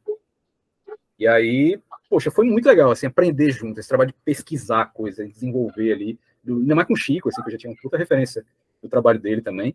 Uh, o Chico aqui e o Deodato são duas enormes referências aqui na cidade, né? Isso, isso que eu ia falar, cara. Que legal, né? Você teve ainda mais uma oportunidade com esse com o Chico, né? Que da hora. É, cara, a, a galera, isso é que é legal, assim, né? O pessoal de desenho, assim, é, como um todo, é um pessoal muito legal, assim, muito de, de compartilhar conhecimento, de, de, trocar ideia mesmo. Eu, eu, nunca conheci alguém que seja muito idiota no sentido de, cara, não venha me encher o saco, sabe? Eu sou uma estrela, eu não vou falar nada sobre a vida, sobre carreira, sobre nada sempre, sempre, sempre que eu perguntei alguma coisa para alguém, a galera foi super acessível. Então, tinha muito isso, assim, o Chico convidou para fazer essa animação ali e tal. E aí eu fui fuçar ali com ele também, um pouco de rotoscopia, a gente entender ali o processo. Aí fez alguma coisa ali em papel mesmo, na época era em cima de vídeo, né, algumas coisas, tentando algumas coisas ali. E chegou num resultado interessante, né, foi o primeiro vídeo que a gente conseguiu fazer. É, e deu uma repercussão legal, cara. Ele, ele foi lançado aqui num, num evento local que era de cinema, era um, um Cineport. Era um evento da língua portuguesa. Né? Vários países de língua portuguesa, da África, da, da Portugal mesmo e tal, vieram para a cidade aqui exibir filmes e falar um pouco e tal. E tinha galera de animação, galera da Auto Desenhos Animados. Eles vieram mostrar aqui o Woodstock, né, que eles estavam, uh, acho que acabado de animar e tal, vieram apresentar aqui. E aí o pessoal que estava lá no momento tal, uh, para mostrar um pouco da, da produção local, aqui não tem né, um cenário muito grande de animação, é, na, na, hoje já tem alguns movimentos, até tem contato com alguns estúdios aqui, como Mode, Estúdio, tem vários outros estúdios aqui acontecendo hoje, mas na época não tinha nada, cara, assim, é só mato mesmo, assim. E aí, quando eles foram apresentar alguma coisa, ele falou, cara, do Alisson aqui ele faz. É... Que eu tava com minha, minha. Na época era namorada, né? Minha atual esposa, minha, minha esposa hoje em dia. Ela uhum. Participou também do clipe, né? Ela também. Era ela que tinha mais interesse na animação do que eu, na verdade. Eu trabalhava com. Nessa ocasião eu, tava, eu trabalhava em livros, né? Eu fazia ilustração de livros infantis e coisa para editora. E a área editorial, né? que inclusive foi até a indicação do pai do Deodato. O pai do Deodato, para quem não sabe, é um, um, foi um radialista aqui da cidade, né? E aí hum. procuraram ele na, da editora, né? Um antigo, um, um antigo, o dono da, da, editora, o dono da gráfica, na verdade, que estava fazendo livros, procurou o pai do Deodato, que era um amigo antigo dele, da, da, entre empresários e tal, e pediu uma indicação de alguém para desenhar, porque ele lembrava que o filho dele era um desenhista na infância, que era o Deodato, né? Aí o Deodato falou, não, cara, eu não vou trabalhar com ele, o cara já foi no Homem-Aranha, vai ficar desenhando personagens de, de livro infantil e tal. Falou, tem uma galera aqui na cidade, tem uns guri que vem aqui em casa que acho que eles vão curtir fazer e tal. E passou pra gente, assim, a gente começou a fazer coisa para isso. E aí o mesmo caso foi do, do, Chico, né? O Chico convidou no mesmo sistema, assim, de chamar para fazer é, animação. E aí foi disso, né? Voltando agora o corte, esse, esse, essa, esse entre aspas ali que eu falei, como é que a gente começou na, no livro. Claro, claro. Uhum, uhum. É, e aí no Cineport a gente apresentaram a gente para o pessoal da, da Otto, né? Que eu acho que era um dos poucos animações que estavam sendo exibidas, assim. Tinha algumas e tal, mas a grande maioria era live action. E aí apresentaram para Marta, a Marta Machado na época. Falou, a galera aqui mexe com animação e tal, foi um trabalho legal, dá uma olhada no clipe de Lele, eles fizeram aí, bem bonito e tal. É, e ela falou, pô, legal, manda um trabalho pra gente dar uma olhada, né? Aí mandei o clipe, mandei os desenhos, mandei umas coisas lá para eles por, por e-mail depois. E ele falou, pô, legal, cara, você quer trabalhar com a gente em Porto Alegre? Eu falei, caraca, como assim? Tipo, eu nunca tinha saído aqui da cidade, fora, né, a infância em São Paulo e tal mas morar em Porto Alegre, né, trabalhar com desenho, o que, que é isso, né, que, que, como é que funciona isso, dá para viver disso mesmo, como é que é e tal. E aí eu fui conhecer um pouco do estúdio, né, conhecer, a, procurar na internet, procurar informações ali, o que, que eles usavam, e eles até pediram um testezinho, e aí eu fui fuçar na internet, procurei o Mirage, né, que era o antigo programa que eles usavam, depois se tornou é, TV Paint, né, o programa de... TV Paint, aham. E, cara, eu fuçando de novo, catando internet, tutorial, não sei o que e tal, fiz um, um, pedacinho, assim, uma ceninha bobinha, assim, nunca tinha feito nada, mas só essa rotoscopia que tinha feito lá no clipe e tal, e fuçando cheguei numa coisa, porque foi a oportunidade que eu tive de ver o, o, o, o que eles usavam profissionalmente, né, no estúdio de verdade trabalhava, que a gente fazia no papel e escaneava. Mas eles usavam uma coisa profissional, caralho, muito massa, tá? Os caras usavam essa parada, eu vou, vou fuçar aqui, onde é que fica a borracha, o lápis, entendi, vou fazer aqui agora a animação, frame a frente. Aí fiz um, uma, uma, coisinha, eles gostaram muito lá do teste e convidaram. E aí foi a minha esposa, também, ela, ela também fez um teste lá e tal, a gente foi juntos. E aí eu fui trabalhar com animação, cara, do nada, assim, chegar que lá em Porto Alegre. Virei animador full, né, frame a frame lá. Foi e, a e você foi morar em Porto Alegre? Fui morar em Porto Alegre, cara. E aí é, dividir espaço lá na, na porque o, o, estúdio lá é uma casa, né? não sei como é hoje, mas é, era uma casa grande que a, o térreo todo, a sala onde era casa e tal, é onde era o estúdio mesmo, né? Onde aconteciam as animações, o pessoal fazia lá. E as partes sempre eram quartos normais que eles usavam, e era muito quarto, a casa era enorme assim. E alguns quartos eles usavam para escritório mesmo do estúdio, né? Coisa de, sei lá, financeiro, coisa toda. E tinha outros que era quarto mesmo de uso, assim, tinha, tinha cama mesmo para dormir e tal. É, o Otto morava nessa casa, ele, o Otto, quem conhece o Otto, ele tem, ele mora, mas ele anda muito, ele viaja muito, ele muda muito de casa, então era um dos pontos onde ele dormia, né? Ele, ele ia para lá de vez em quando, assim, que ele, ele, ele passava noites lá, assim.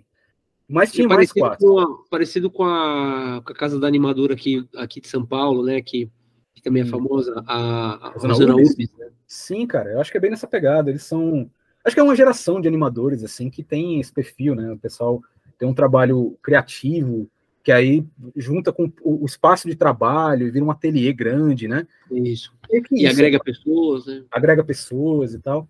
E aí virou isso, assim, a gente foi morar lá, de, de, de, ao pé da letra a gente dividia a casa com o Otto, né? Eu fui morar com o Otto. Então, apesar que ele não dormia lá sempre, era ocasionalmente que ele dormia lá, mas ao pé da letra fui, fui morar com o Otto mesmo, assim, né? Lá com ele e tal. E aí, cara, respirei outros ares, assim, né? De, de, de ver o, o, audiovisual brasileiro, né? Com uma pessoa de média. um mergulho na animação, né? Que você não tinha tido, aí é, foi, cara, foi um mergulho, né? Onde eu caí de cabeça de uma vez, assim, a gente passava 24 horas lá dentro, assim, né? Dentro do estúdio. E, cara, e aí começou a gente ter contato com umas paradas que era muito grande, assim. Tipo, é, o co-diretor desse filme, para quem viu, que eu, eu fui para lá trabalhar na Tech Bond no Separe, né? E esse filme é um longa-metragem, live action, é, desculpa, frame a frame, full animation, é, que demorou muito tempo, assim, acho uns, uns anos para ser feito. Eu trabalhei nessa fase, acho que eu tinha, na época eu tinha uns 23 anos, 22, 23 anos. Já estava em uhum. faculdade, né? Eu, quando eu entrei para a faculdade aqui, até falo da, da, escolha que eu tive de, de, faculdade, que como não tinha nenhum curso ligado à artes diretamente, ou era educação artística, que era onde minha esposa é, estudava na, na, na ocasião, ou era arquitetura, assim, não tinha outra opção. Assim, não tinha design, não tinha publicidade. E aí o cara, como eu entendi que meu trabalho é relação com comunicação, eu falei, o que, que tem na comunicação que pode ser útil para mim? E aí eu vi relações públicas, cara. Minha formação foi relações públicas, eu vi que o curso era de noite, eu falei, fantástico, não me atrapalha trabalho, já que não ajuda, pelo menos não atrapalha. e aí, aí eu fui fazer, cara, RP, e, e aí eu, esse período que a gente passou lá na OTA foi um período que eu tranquei o curso, né, assim, foi porque eu sempre priorizava, eu vi ah, que eu ia tá aprender muito então, mais. Então, então, legal, então só, então só para situar, então você fez o, começou o curso em João Pessoa, trancou para poder ir lá fazer essa animação e voltou e continuou, foi, foi isso? Cara, foi isso. Legal. E aí, quando a gente voltou né, para a cidade, começou ainda trabalhando remoto, mas era, era um pouco complexo, né? A produção remota é uma coisa que sempre foi complexa, até hoje é, toda a estrutura de trabalho necessária para funcionar, né?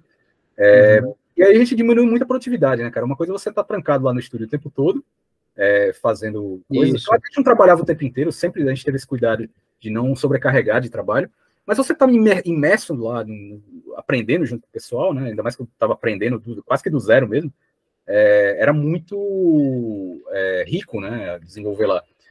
E uhum. depois trabalhando remotamente, acabou que não tinha essa mesma produtividade, era difícil fazer. E aí foi quando eu abri mão um pouco, acabei saindo do, do, do estúdio, né, da, da, do trabalho, para voltar para a universidade. Mas. Ah, tá. Então, então você ficou remoto é, para esse mesmo estúdio do, um, em João Pessoa para continuar a faculdade e aí percebeu que não rolava. Foi isso? É, cara, ficou mais difícil assim de, de, de fazer e tal. A gente ganhava produtividade, a produção era muito baixa daqui e acabava não valendo muito a pena. A gente ah, acabou preferindo não, não continuar na, na, na, na, produção, terminar a primeira faculdade e tal, e ver se era aquilo mesmo que eu queria da vida. Né? uhum. para poder focar depois e até para avaliar, né, cara, ver se era o melhor caminho mesmo e tal, porque uma coisa você tá na hype ali, na, na né, tudo acontecendo claro, ali. Envolvido, enfiado lá dentro. Né? É, e outra uhum. coisa é você parar até você mesmo e ver, pô, trabalhei em publicidade, trabalhei é, com livro infantil, trabalhei com animação, o que, que eu quero disso tudo, né? O que, que, é, qual é que é a minha, né? Depois de toda essa pesquisa, né? É, eu usei muito para aprender, né? Pesquisar o que, que eu queria fazer, né? Até esse tempo eu também já tinha feito algumas coisas para quadrinhos também, o quadrinho internacional, fazendo é, cores para quadrinhos. Uh, acabei não mencionando, mas nesse meio tempo, antes de ir para outro, é, eu acabei fazendo umas coisas para Glass House, né, para a empresa que agenciava o Deodato na época. Ah, aí legal. cores para quadrinhos, é, até conheci um pouco desse universo. Os problemas também que acontecem nesse, tem muito calote nesse ramo, é bem complicado. É, é, importante, importante falar também, claro. É, cara, é treta, assim. Eu, eu ficava muito frustrado, assim. Foi uma época que eu fiquei bem, bem chateado, assim, com o ramo de quadrinhos. É, era um ramo, é, era um ramo muito difícil de entrar e muito calote quando você tá nele. E aí eu era muito frustrado, né, cara? Imagina um moleque de... Na época Mas, que eu tava nisso, tinha 19, né? calote, assim, você chegou a passar por essa experiência. De quê? Desculpa é, trampou e, e, tomou calote e passou por essa experiência e meio que percebeu que não vale a pena, ou que ou ficou meio, meio chateado. Foi, cara, eu acho que eu tomei uns dois calotes ainda, assim, no, meio. Nossa, e aí eu vi cara. que, mesmo assinando contrato no ramo, assim, tal, esses contratos internacionais, ele não tem. É difícil ir atrás, né? Tipo, que advogado você vai para processar o cara que tá lá, sei lá, em Boston, nos é. Estados Unidos? É meio complicado. Uhum. Imagina um moleque de 17, 19 anos tendo que resolver uma treta dessa, assim. Então, não valia muito a pena. E, e a Glass House acabava que não, não participava muito disso, meio que lavava as mãos, assim, sabe? Era ah, meio, entendi, entendi. Era meio foda, assim, mas era. Aí não valia a pena, foi muito frustrante, era uma coisa que eu, eu tinha.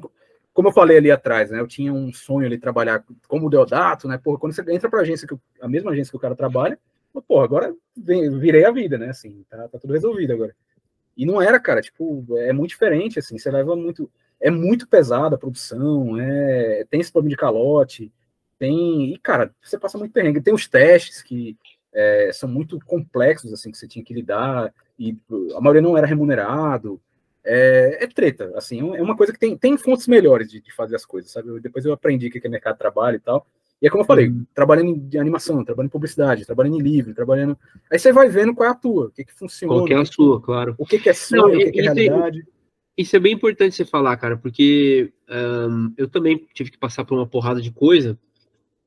E eu não sei se isso, isso passou pela sua cabeça, assim como para mim, né? Às vezes a gente se sente talvez até um pouco perdido em determinado ponto, né? Ah, muito, bastante. Porque você experimenta de tudo, não se especializa em nada, né? Tudo bem que assim, é, é, tem épocas e épocas, né? Eu acho uhum. que no passado experimentar um pouco de, de tudo era um pouco menos era um pouco menos maluco assim né? Porque uhum. é, tudo estava meio que em progresso ao mesmo tempo. Você estava meio que aprendendo enquanto o mercado se formava ou, ou enquanto as chances é, se estabeleciam no país né? É. então tudo bem você experimentar né? E, e, e, e, a estabilidade fazendo uma coisa só não era garantida né? Então é, então, eu acho que com o passar do tempo, é, começaram a surgir os especialistas, assim, né? Não sei se você tem essa, essa visão assim também. Total, cara. O mercado mudou muito, né, nos últimos anos e, é. e para tudo, né? Para todas as áreas, assim, tal. É, essa coisa de se meter fazendo uma coisa sem nunca ter feito e tal. É. é. acabou sendo uma adrenalina que eu acabei agregando à minha vida, tudo que eu faço. Eu ainda sempre tento coisa que eu nunca fiz, mas é, é, um pouco mais difícil hoje em dia para fazer isso. Né? Justamente por isso mesmo, porque tem essa coisa do, do de você já tá no mercado mais especializado, né? Você vai no estúdio, tem a galera que só faz cenário, tem a galera que só faz animação. É, na época já tinha, né? Obviamente já, já rola um pouco disso, mas tinha um pouco mais de espaço porque tinha uma carência muito grande de profissionais. Né? Você não tinha tanta gente fazendo tanta coisa. E aí hoje em dia já é uma galera disputando o mercado e tal, já tá aparecendo um pouquinho mais o mercado estrangeiro, né? O mercado internacional. Uhum. E aí fica. É, o próprio mercado internacional, né? Muita gente trabalha para o exterior, eu mesmo é, presto serviço para o mundo todo, assim, hoje em dia. Então começa a ficar uma regra mais difícil, né? De, de, de, você se destacar no meio de todo mundo. Aí começa a fazer sentido nas né, redes sociais, você se divulgar e fazer tudo isso, né? Muito bom. Deixa, deixa eu só te fazer um. Eu vou fazer algumas. Uh, vou te interromper um pouquinho aí. Tá? duas coisas que eu queria falar. Uma, quero falar sobre esse seu processo, está colorizando agora numa outra camada, não é isso? Sim, cara, estou e... trazendo aqui, experimentando umas cores. É, sempre pensando em design, cara, o tempo todo, assim, eu fico, pô, essa cor combina com essa, qual é a. Tipo aqui, né? Eu vou, vou, experimentar aqui uma tríade, né? De, de roxo com verde e laranja. Vou falar um pouco da composição, ótimo. Uhum, é, pensar em composição e tal. Então, toda hora que eu vou fazendo são experimentações ali, de uma maneira que eu possa voltar atrás para pensar em design, para ver se eu consigo aprimorar esse design, para ver se ele fica mais interessante e tal. E aí vou uhum. vendo, pode ser que não dê, aí eu vou ajustando, vou vendo como é que funciona. E é um processo diferente, você está colocando a cor é, é, com, com color em cima daquelas, daqueles tons que você já tinha, né? É, eu fiz primeiro uh, o estudo, eu, comecei valor, mais né? ali na, na, no shape, né, principal, é mais bidimensional, mesma ideia, como é que as formas uhum. se conectam e tal. E aí depois o shape, pensando um pouco na tridimensionalidade e tal. Nessa parte da tridimensionalidade, eu já vou pensando como é que eu quero separar os tons, né? É, o quanto uhum. de degradê eu quero, assim, se eu quero ele mais marcado, mais cartoonizado, ou se eu quero ele um degradê super realista, assim, aquela coisa 3D mesmo, em todos os tons. Aqui eu escolhi ele ser um pouquinho mais cartoon, mais quebradinho mesmo. É, e aí vou avaliando, né? Se, eu quiser mais depois, eu vou lá na camada que tá sombra e dou uma borradinha. Se eu quiser menos, foco, volto, né? E aí vai. Muito bom. Legal. Então, aí mais um, mais um processo legal aí do Alisson, aí, mais uns toques de processo legal. E, e, outra coisa que eu ia te falar é o seguinte: você provavelmente deve ter compartilhado só o Photoshop, né? A tela do Photoshop. Sim. Talvez seja legal você é, sair desse compartilhamento rapidinho e voltar para você ter o tá. compartilhamento do seu computador, para você poder mostrar alguma coisa que a gente fala para ilustrar. Então, por exemplo, você, tá. você aceitou um filme que você participou, você quiser mostrar no YouTube se tiver algum pedaço. Né? Deixa eu pegar aqui o, Vou mostrar aqui até que a Xbox não separa. Ele está completo na internet. Deixa eu ver aqui. Isso. E até, e até mais tarde, a hora que você for mostrar seu Instagram, seu ArtStation, né? Seu portfólio, tá, cara? Claro, claro. Ah, não, então já tá aí já. Eu achei que você, você compartilhou tudo, então tá beleza. Não, é porque eu, eu, eu tô compartilhando uma tela, né? Eu tô compartilhando um segundo monitor, né? Isso, só uma tela. Vendo, falando com você, onde fica a câmera uhum. e tudo mais. E o outro aqui é um segundo monitor onde eu tô desenhando, né? Melhor ainda, da hora. Aí aqui, é, esse, esse, esse filme que eu falei, né, Até que Eles Não Separe, ele tem trailer e tá até completo aqui, ó. Until Is Born Apart Us. É, em 2022. No YouTube. É, no YouTube uhum. tem ele inteiro. Tem vozes da Fernanda Takai, tem toda uma galera ali do, que fez o filme. Esse aqui é o Otto Guerra, né, que eu mencionei. É, ele tem, cara, tem uns 50 anos de, de produtora no Brasil, assim. Ele tem muita história, esse cara é muito gente boa, assim, de, de, de da convivência. Ele é uma pessoa muito engraçada, assim, é muito legal conviver com ele, né? Ele, que bacana ele é, experiência, hein, mano? Ele não só é uma, uma, pessoa que tem ideias engraçadas, assim, mas ele é uma pessoa muito divertida de, de, de conviver, de, de uhum. estar com ele, assim. Então foi um, uma época bem feliz, assim, bem legal, que a gente passou lá em Porto Alegre, assim, gostei muito da cidade. Eu passei o todo lá, uns, acho que uns oito meses morando na cidade, trancado o curso aqui, tal, de faculdade, e depois a gente ficou trabalhando remoto, né? Aí, ocasionalmente, a gente se bate, assim, alguém do, do estúdio vem aqui em João Pessoa, o próprio Otto vem exibir filme aqui no Nordeste, a gente se bate nos eventos e tal. Então, ah, mas participou daí toda essa galera aqui fazendo vozes, né? É, que é Legal.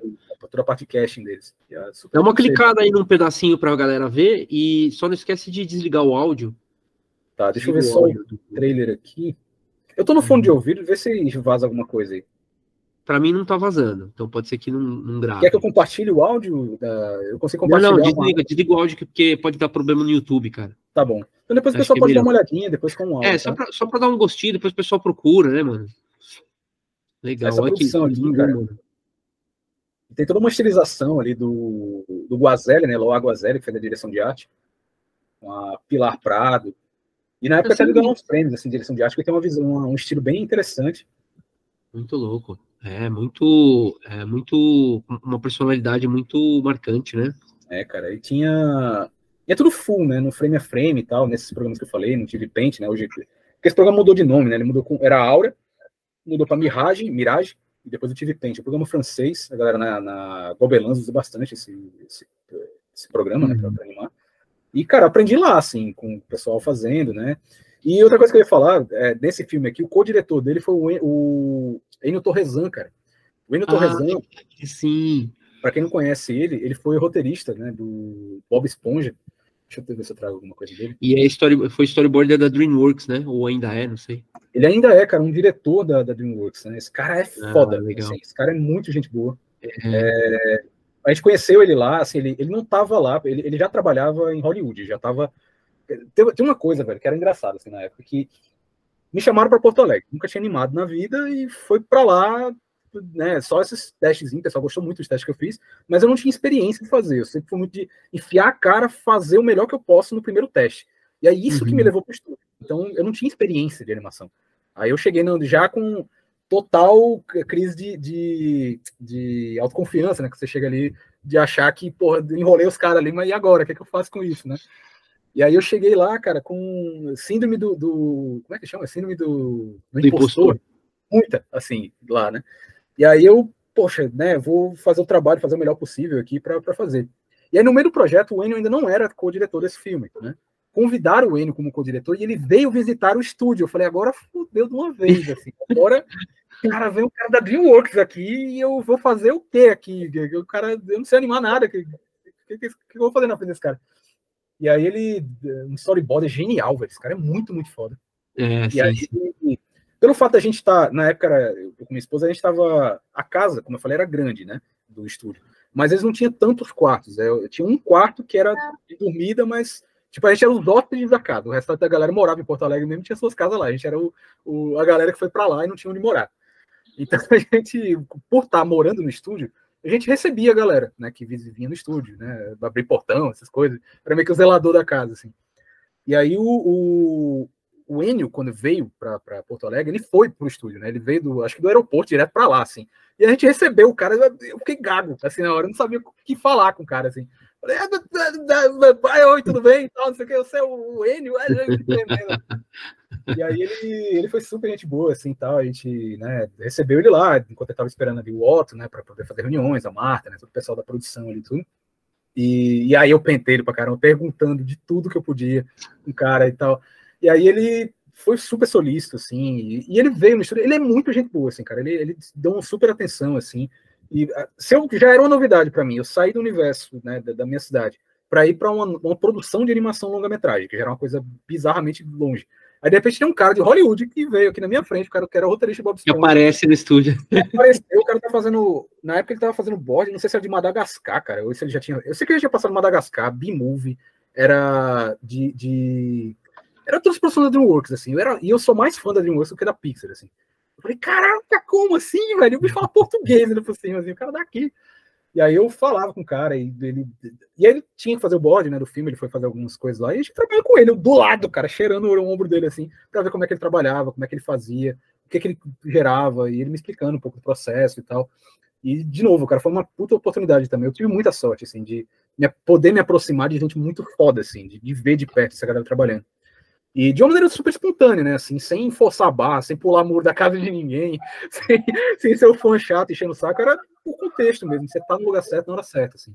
Sem, sem gerar polêmica na internet. Sem gerar polêmica na internet. Era de fato porque tava ali no meio uma galera dele. Teve um, uma, um misto de sorte com mérito também, de, de exibir um teste que a galera claro. gostou.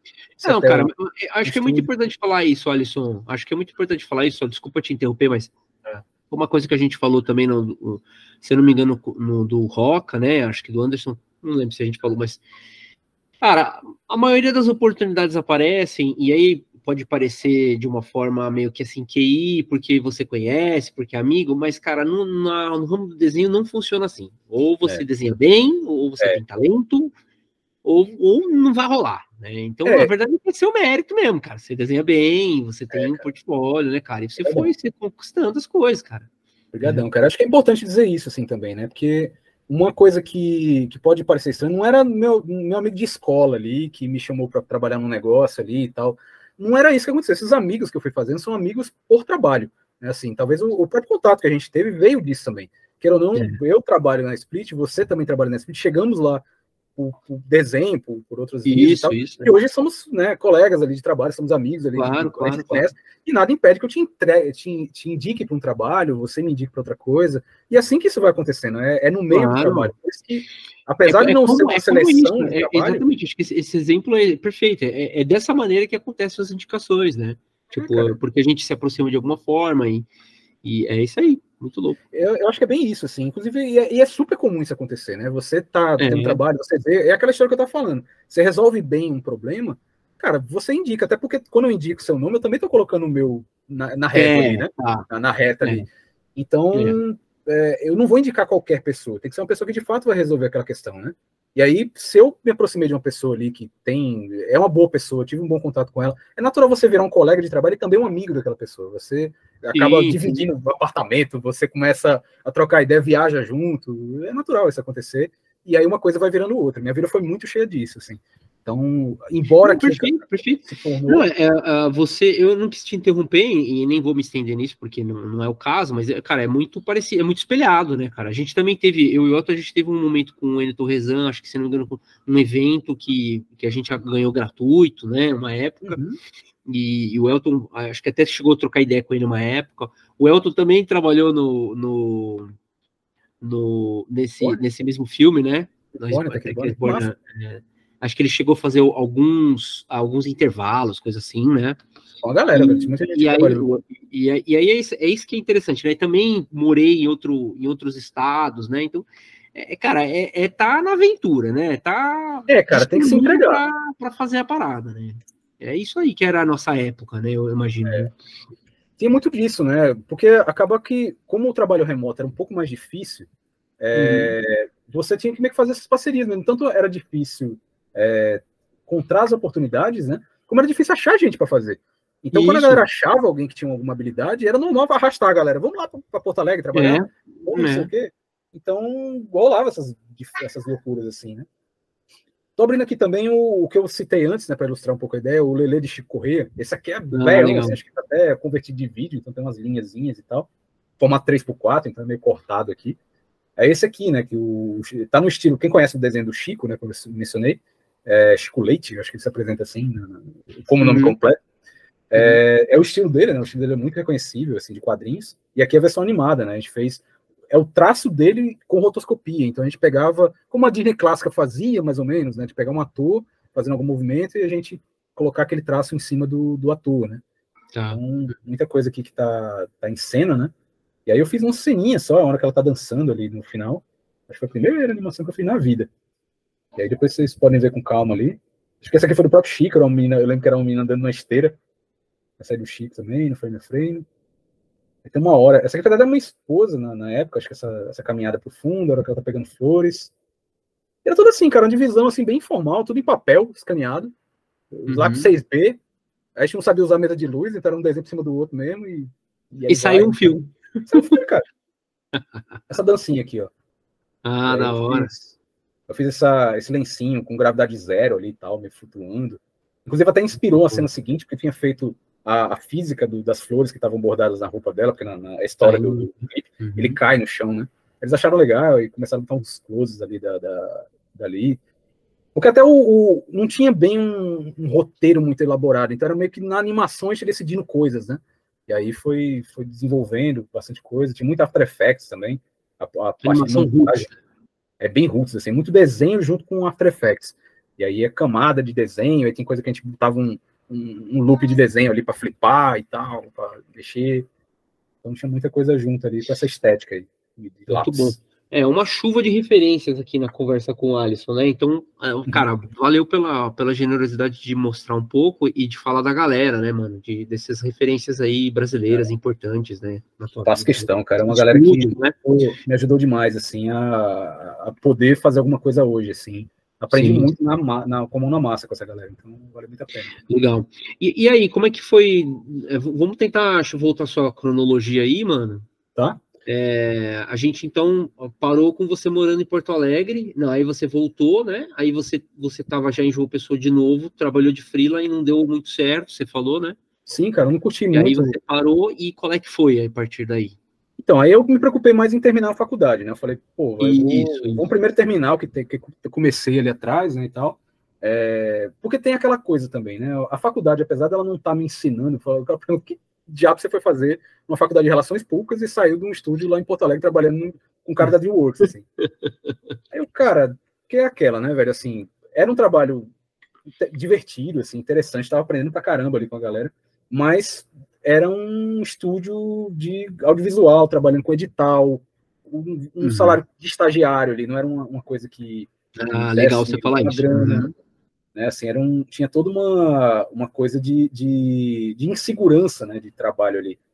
Então, cara, primeiro deixa eu resolver umas coisas, que aí, queira ou não, minha família também tem essa preocupação. Assim, a hora que, por mais que meus pais não tiveram, principalmente por isso até, né? Meus pais não tiveram formação escolar, acadêmica e tal, eles queriam, né? Uma realização para eles ter um filho que, que fez a faculdade, né? Para eles é importante isso, assim. Eu respeito claro. isso. É, e para mim também, né, era um pouco mais de segurança. Né? João Pessoa, para quem conhece, e acho que é a situação de vários lugares do Brasil também, é, quando não tem uma indústria é, muito grande, assim, de, de, de, geral, né, indústria mesmo de, de, de fábrica, de é, grandes coisas uhum, assim, uhum. acaba que não tem muita oportunidade para a galera de outra coisa que não seja, ou vai fazer, trabalhar em loja, ou vai ser funcionário público, não tem muita alternativa de, de, de você se dar certo na vida de um jeito um pouco mais Sim. planejado, estruturado.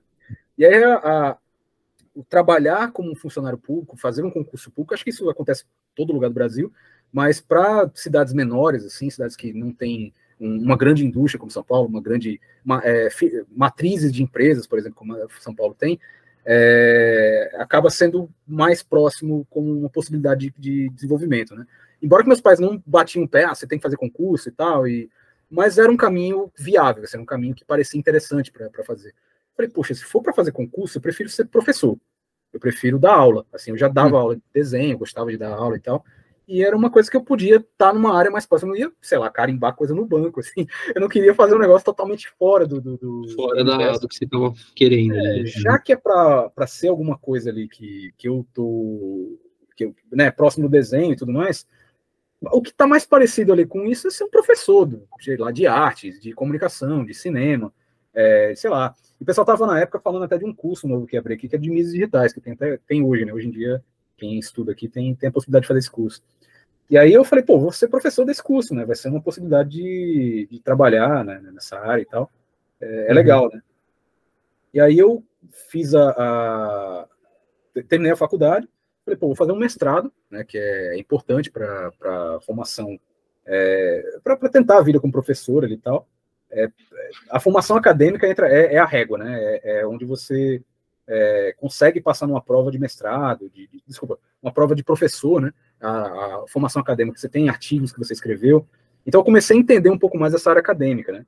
É, até para ver por onde ir, né? O que e aí desde a própria faculdade eu comecei a, eu já tinha também pingado lá dentro depois que eu voltei lá da Otto, é, eu fui trabalhar num, estudo, num laboratório que tem lá de computação, né? De, que é o LAVID, é o, uh, o Laboratório de Aplicações de Vídeo Digital é da área de ciência da computação, tem nada a ver com a comunicação, é do outro lado da faculdade, mas é, eu vi que eles estavam precisando de alguém lá para fazer design de interface. Também não sabia fazer nada disso, mas pela experiência que eu tinha de, de agência, né, de ter feito algumas coisas em design e tal, é, também era uma coisa que tinha pouca gente para fazer, ainda mais estudante né, de faculdade, não tinha curso de design na universidade.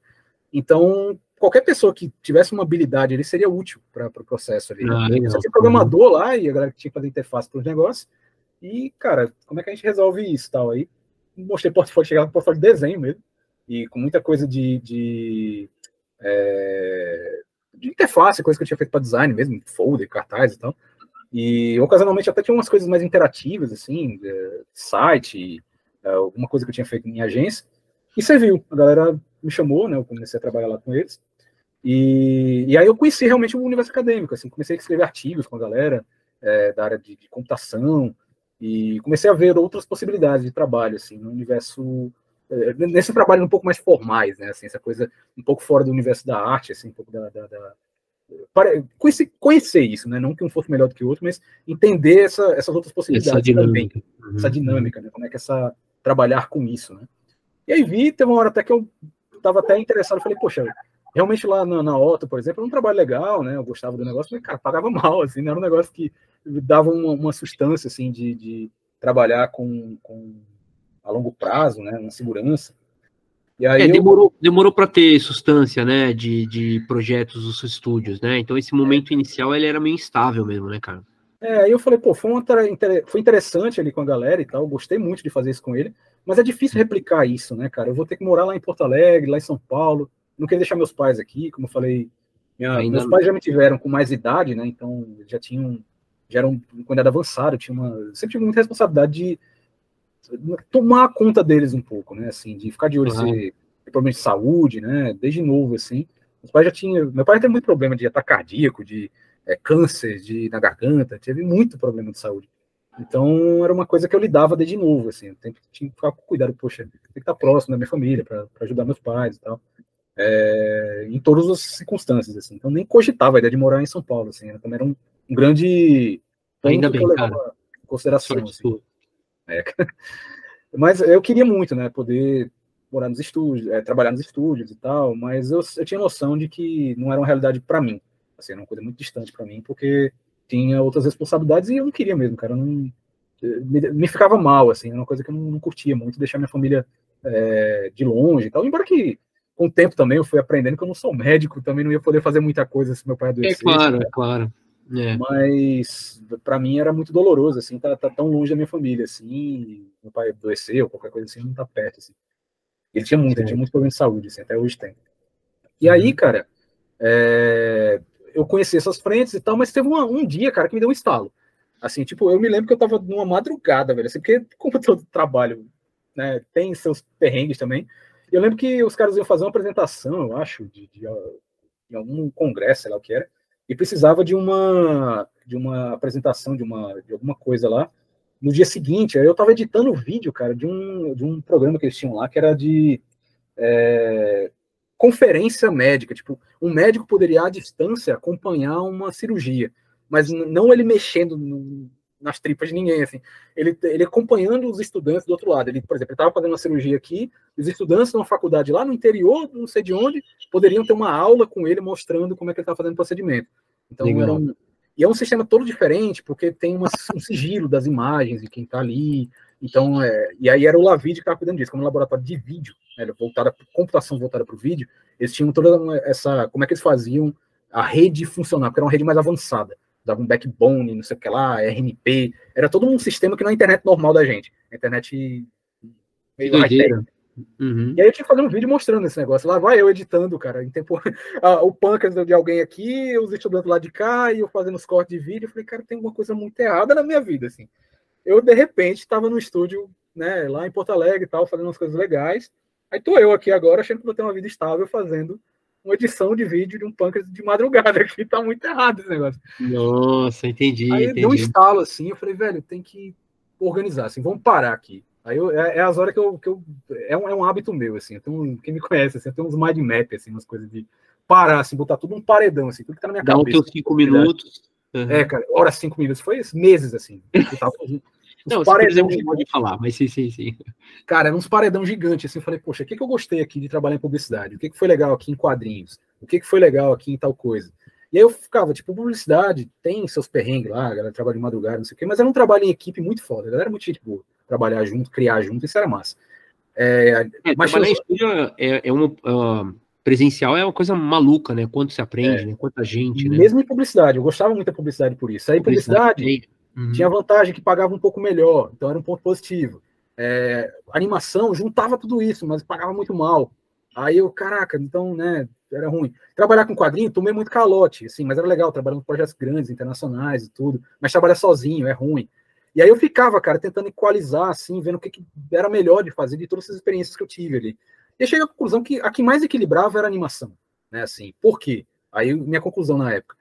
Poxa, a animação ela é uma área de audiovisual que não participa só de filme, apesar que eu estava num projeto edital ali, mas ela está na área de games, ela está em efeitos de, de, de, filme, ela está em propaganda, ela tá, é um mercado absolutamente grande. E aí, inclusive, permitia eu fazer outras coisas, né? Eu trabalhava a publicidade com vídeo, em animação, é, trabalhava com a equipe criativa, né, desde a pré-produção ali num, ligada ao estúdio, de, desculpa, numa agência de publicidade e tal, até a uhum. galera do estúdio mesmo, executando a animação. Então, assim, tinha muito mercado. Tinha como dar aula, porque ia abrir esse curso de mídias digitais que tinha uma ligada com animação. Eu conhecia professores que eram pesquisadores da área de animação, mesmo pesquisadores acadêmicos dessa área. É, a computação, eu entendi lá dentro do universo da computação, é, tem, tem vias ligadas a isso, né? A computação gráfica, a games também, a galera tinha um departamento lá que se interessava por games. E, pô, tem super área para trabalhar nisso, velho. Eu vou, vou me enveredar nisso, eu vou enfiar a cara e estudar isso. Aí o mestrado que eu fui fazer na ocasião foi um mestrado de design. Aí eu fui pesquisar, cara. Fui na, aí, depois desse mindmap, eu fui para a internet. Aí eu parei assim e fui olhar onde é que eu podia fazer um mestrado, né?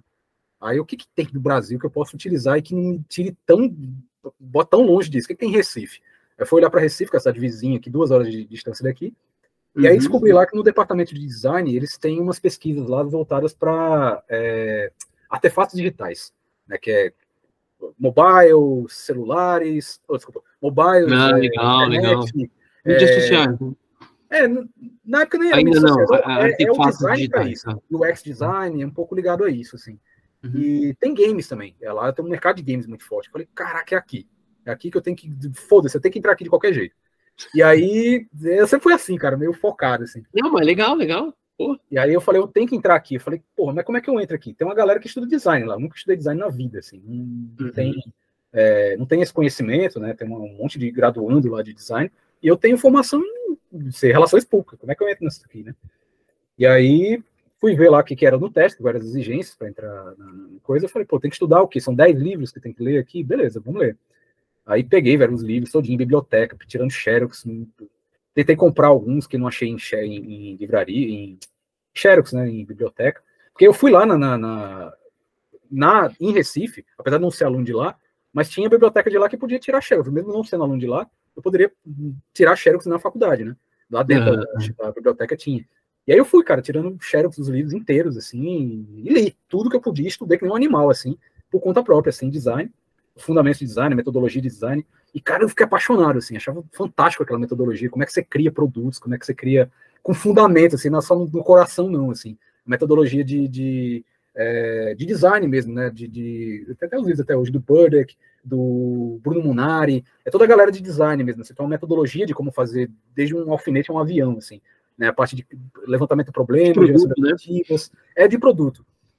E aí eu adorei, assim, me apaixonei pelos livros, li que nem um louco, assim, e passei no, no, no teste depois. É, tinha, tirou uma boa nota, assim, foi legal.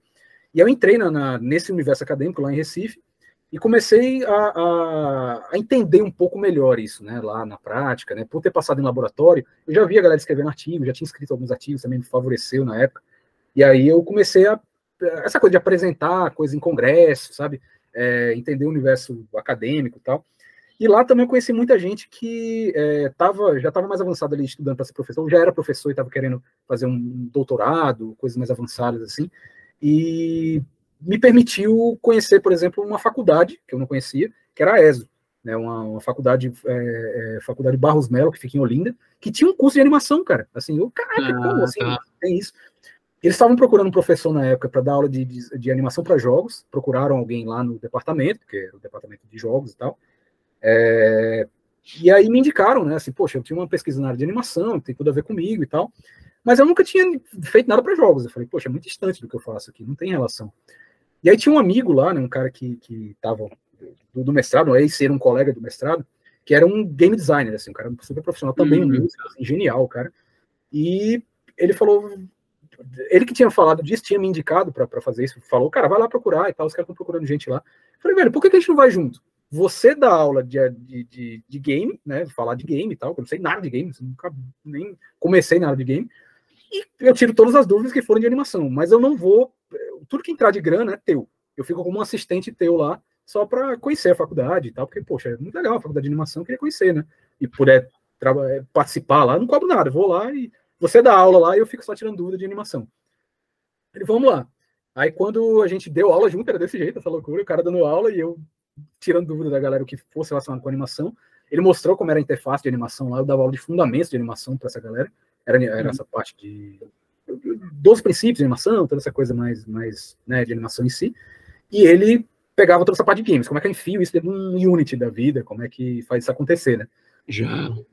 E aí rolou. A galera curtiu muito a didática, como eu dei aula lá e tal, e me convidaram para aula de animação mesmo. Aí sim, era outras disciplinas que tinha na faculdade, de animação avançada, de outras coisas mais práticas, assim, porque também é uma coisa que eu aprendi nessa ocasião, é que o universo acadêmico ele tem muita carência de pessoas que têm prática de estúdio, pessoas que sabem fazer a parada. Isso, é uma, que... é uma distância muito grande, né? Assim, a galera que faz essa coisa no estúdio e a galera que está na, na, na universidade, né? Eh, com as, com as coisas que são pré-requisitos para virar um professor de faculdade. Uhum. E aí, cara, a galera começou a me jogar tudo quanto era coisa prática, assim. Eu comecei a dar aula de é, vídeo, de animação, de 3D, sem conhecer direito do Blender, das coisas. Era, e aí eu, ficava, eu adorava, cara. Eu ganhava ali para. Eu aprendi a pesquisar. É, e aí dava as aulas com base nisso. Assim. Até fica. Foi, foi muito rico assim, para mim nessa época. Eu também pude formar muitos alunos, né? Assim, foi uma época que toda a galera que, que eu tive contato, assim, na época, né? Desenvolvendo ali animações e tal. Aprendi muito com, com os alunos também, né? De, de ver a galera fazendo. E também de como liderava o processo. Eu dava aula de animação avançada. Quando, quando a turma fazia um curta. Então, cara, me deixava muito próximo do, da pipeline ali, de uma criação completa, né? De como é que faz o board, como é que é, gera o, o, produto completo, né? Que por mais que eu não tivesse feito isso no estúdio que eu estava, que eu era um animador, é, coordenar a galera fazendo um, um, projeto completo te coloca na situação de diretor, né? De sim, orientar sim. a galera, de é, passar as demandas para É, a simulação, né? A simulação da, do, da pipeline de produção, né? Uhum. É, então, essa experiência, cara, que me trouxe outras oportunidades, assim, de, de direção mesmo, né? E aí, por isso que os próprios alunos, né? Tinha um grupo de alunos lá que ele tinha um estúdio de, de live action, né? Era, um, era um aluno um pouco é, mais experiente ali de, de, jornalismo, né? Ele tinha seu, seu, é, seu estúdio ali de, de, de produ, produção de, de, de coisas live action mesmo. Pra, uhum. Geralmente eram, eram matérias de matérias pagas para TV, ou até propagandas que ele fazia, tinha todo o aparato ali para cinematografia, assim. E aí ele queria abrir essa divisão, ele, ele fez o curso nessa intenção, né, o Ulisses, ele fez esse curso nessa intenção de trazer alunos né, para a faculdade, para esse estúdio dele, que ele estava formando. E aí foi quando ele me convidou para ser diretor desses alunos que ele estava formando. Oh, que legal. Que é a Vilcine, né? Hoje em dia, eles têm vários pro, produtos lá, vários filmes que eles fizeram, eu fui diretor de vários deles, assim, né? O Além da Lenda, o Pedrinho Estrela da Sorte. É, e aí, cara, virou realmente era pipeline profissional, assim, era coisa de colocar os alunos mais destacados que a gente teve no, curso e tal. Tem registro fazer... desses filmes na internet pra gente ver também, não? Cara, tem. Eu não sei se eles são É completos na que você internet. acha mas- legal mostrar, mano? Tem sim, cara. A galera fez um trabalho bem bonito, assim. Ó, Além da Lenda Animação. Essa aqui depois ele virou até uma série de, de livros. Ó, esse virou um, um filme, longa-metragem também. Ah, que legal. Ele tem toda uma série, cara. Esse trabalho aqui bem. Que é tudo com as lendas brasileiras, né? Então a gente teve a oportunidade de Ah, que demais, pô. como é que a gente faz uma, uma série onde o- as lendas brasileiras ali interagem de uma forma cômica e divertida para apresentar isso para a galera hoje, né? Quais são os perrengues que uma, uma lenda, uma lenda, né, um do folclore brasileiro iam passar hoje, né? A gente colocou aquela coisa dela tá são, são lendas que estão sendo não estão sendo tão respeitadas como antigamente. né? Ninguém tem medo delas mais, porque todas elas são, têm um universo ligado a terror. Então é, os meninos ficam zoando deles, assim, não tem medo deles de jeito nenhum e tal. E eles se veem meio que numa crise existencial, assim, eles não sabem muito o que fazer e tal, vão procurar uma terapia. E aí vão para um terapeuta, todos eles se, passam Um por esse igual o terapeuta. Deus dos Americanos, né? Do, do, É, meio isso, assim. Isso. E aí era é toda essa coisa de encontrar esse terapeuta onde, onde eles são apresentados, né? Eles vão falar da vida deles e tal, e por que, que eles passaram de perrengue ali com, com as crianças ali, por que, que ele não está conseguindo fazer o que ele fazia no passado. Seja Nossa, proteger a floresta, é, seja fazer a criança dormir na hora certa, toda coisa que, que essas lendas passam, né? E aí a gente conseguiu apresentar, todos eles têm um momento de apresentação da lenda, é bem curtinho os episódios, né? De, ah, o que foi pra TV acho que tem cinco minutos, o episódio completo tem sete. E a gente conseguia passar, cara, bem divertido, assim, bem engraçado, assim, o jeito que a gente passava, o Curupira ali, ele é meio. É como se fosse o, o, o cara do. O, o Robin, do, que ele é meio chato, assim, ele é meio político, todo certinho, assim, todo é, rápido, assim, meio ninja, né, e tal. E aí ele interage ali com a, a com a Florzinha, que é uma lenda mais nordestina, assim, que ela tem uns cabelos longos, que, que é, chicoteia as pessoas que tentam invadir a floresta e tal, e ela tem uns barulhos. Quem, quem é do Nordeste deve conhecer bem essa, essa lenda. E ela, ela é meio, meio como saci, quase, assim, sabe? Ela, ela é muito traquina, assim. E aí a gente Uhum. botava ele junto com ela, ela zoando dele o tempo inteiro, deixa de ser nerd, não sei o quê. E ele era todo chato, e ficava essa interação engraçada, assim, entre os dois. Então foi bem divertido fazer esse, esse projeto. Legal. E, e, e, e você realizou isso dentro da faculdade, então? Então, esse aqui já foi dentro do estúdio, né? Esse Ah, estúdio já foi no que foi estúdio. dos alunos que estavam ali. Da faculdade a gente fez muita coisa é, das disciplinas mesmo, né? E aí acabava que, como o, o espaço era pequeno, né? Tinha pouca coisa, pouco tempo para desenvolver. Acho que tem Uhum. pouca. Talvez os alunos postaram alguma coisa, não tenho nada deles assim, mas formou muita gente que hoje são Claro, É, claro. profissionais trabalham na Inglaterra. Excelentes, é. é, na, na Cartoon pra formar galera, né? A gente formou Uhum. muita gente, cara. lá, E tem toda a gente que está trabalhando. Até na Split mesmo tem alguns alunos que estão. O, o Bruno Antônio, né, que é um dos roteiristas da Split hoje, é, foram dessa época, que trabalhando comigo depois no Além da Lenda. E aí formou galera, velho. Assim, já, já tava com 20 pessoas, 20 animadores no estúdio. Aliás, eram 15, 13 animadores, era 15. E aí outros roteiristas, eu sei que formavam uma equipe que passava de 20 pessoas. E era todos, a maioria deles eram ex-alunos, seja da faculdade ou seja de cursos gratuitos que eu comecei a dar para catar gente. E era. Eu dava um curso gratuito, via quem tinha mais potencial, fazia algum E trabalho mais já, já selecionava. ali.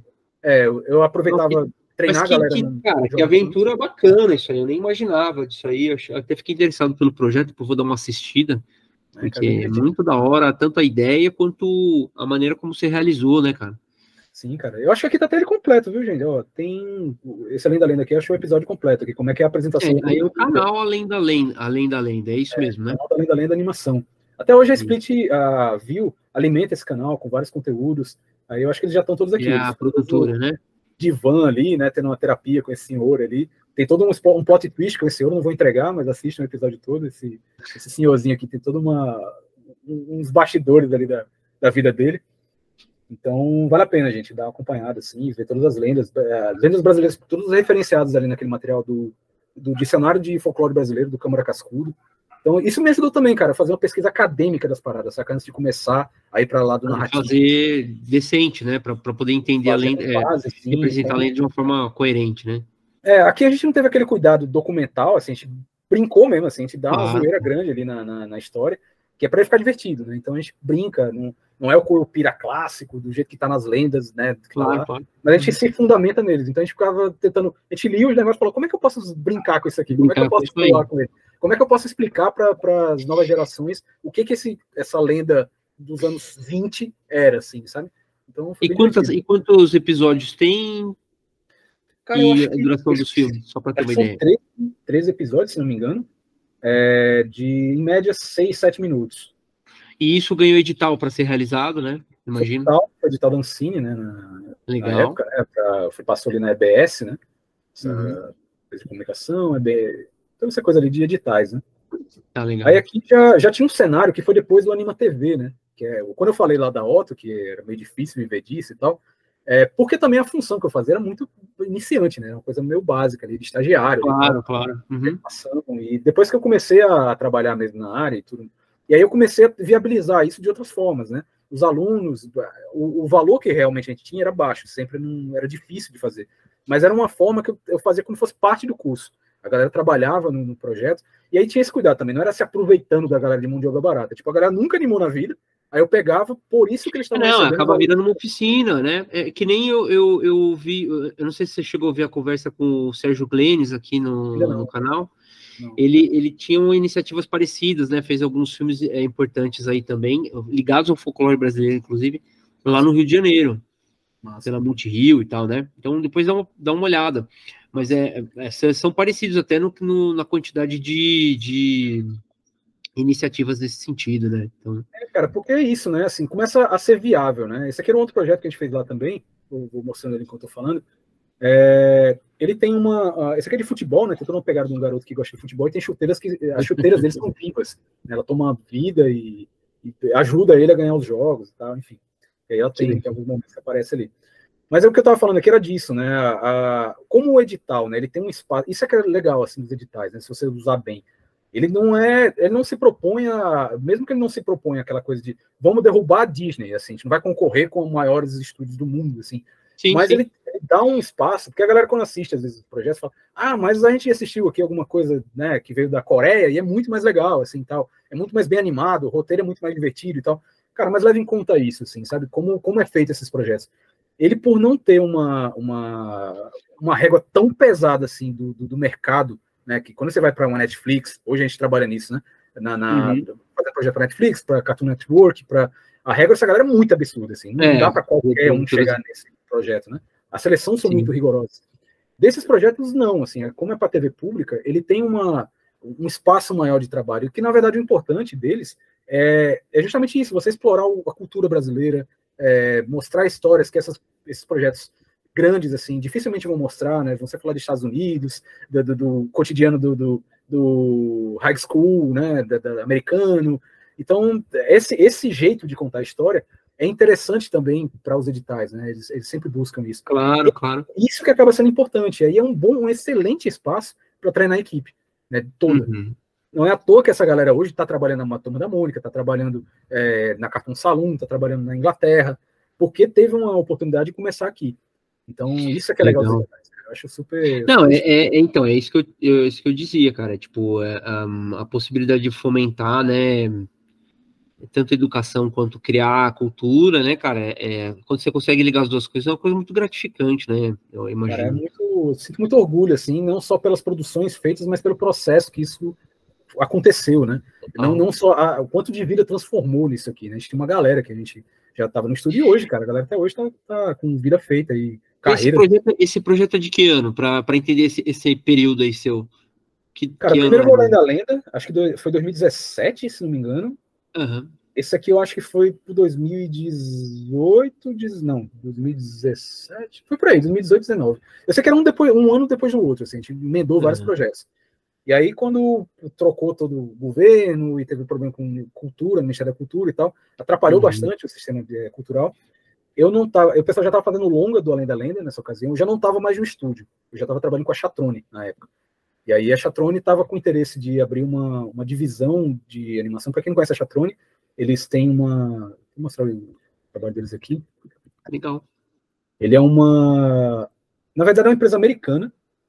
É, ao pé da letra, ela é americana, tá? É tipo o CNPJ dela é americano. Porque uhum. ela é uhum. fundada por é, uma brasileira e um, um americano em, na Califórnia. Né? Ela estava lá na ocasião, ela é, se formou lá, né, uma pessoa que, do audiovisual, fazia roteiros, acho que ainda faz até hoje. A Karina, né, Schulze, ela sempre trabalhou em, assim, era como o Enio Torresan, né, um brasileiro, um brasileiro que trabalha no, no, no ecossistema de Hollywood.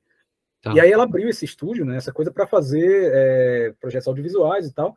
E o foco desse estúdio é assim, muito esses projetos latinos, ali da Gabriel Estrela, Juaca, são projetos que têm atores brasileiros, é, toda essa linguagem, não só brasileira, mas da América Latina. Né? Uhum. E aí ela sempre dirigiu, sempre foi showrunner, né, que é o termo que se usam para. É quase como um diretor, né, uma coisa que acompanha várias etapas ali, é, para esses live actions, e aí na ocasião eles estavam buscando. Eles viabilizaram, para quem conhece aí, o Book of Life, né, esse, é, do, do Guilherme Del Toro, né? Com com ah, sim, é lindo, é lindo, né? Uhum, uhum. Viabilizaram aqueles uhum. que foram os, não os criadores, eles viabilizaram como todo. O criador foi o Jorge Gutierrez, né? O Jorge Gutierrez, é, que uhum. tem toda essa coisa ali, cultura mexicana e tal. É, e aí eles têm esse pé bem forte na animação, né? Aí o Rodrigo Laio, que trabalhou comigo, né? Ele foi o, o, o quando eu estava nesse período, né? Eu também fiz muito freela, né? Eu fazia muito trabalho de freelancer. Quando eu era professor, também comecei a fazer palestras. E aí conheci uma galera do, do audiovisual brasileiro, que aí comecei a fazer remotamente é, trabalho de storyboard. Eu fiz muito trabalho de storyboard pro Dino Aventuras, né? Tem... Ah, legal. Aí a gente chegou no Dino Aventura, tá certo. É, deixa eu mostrar aqui. Uhum. Ele tem uma. Era um, um, um, personagem da Danone, né, na verdade, que ele passava na Disney Channel.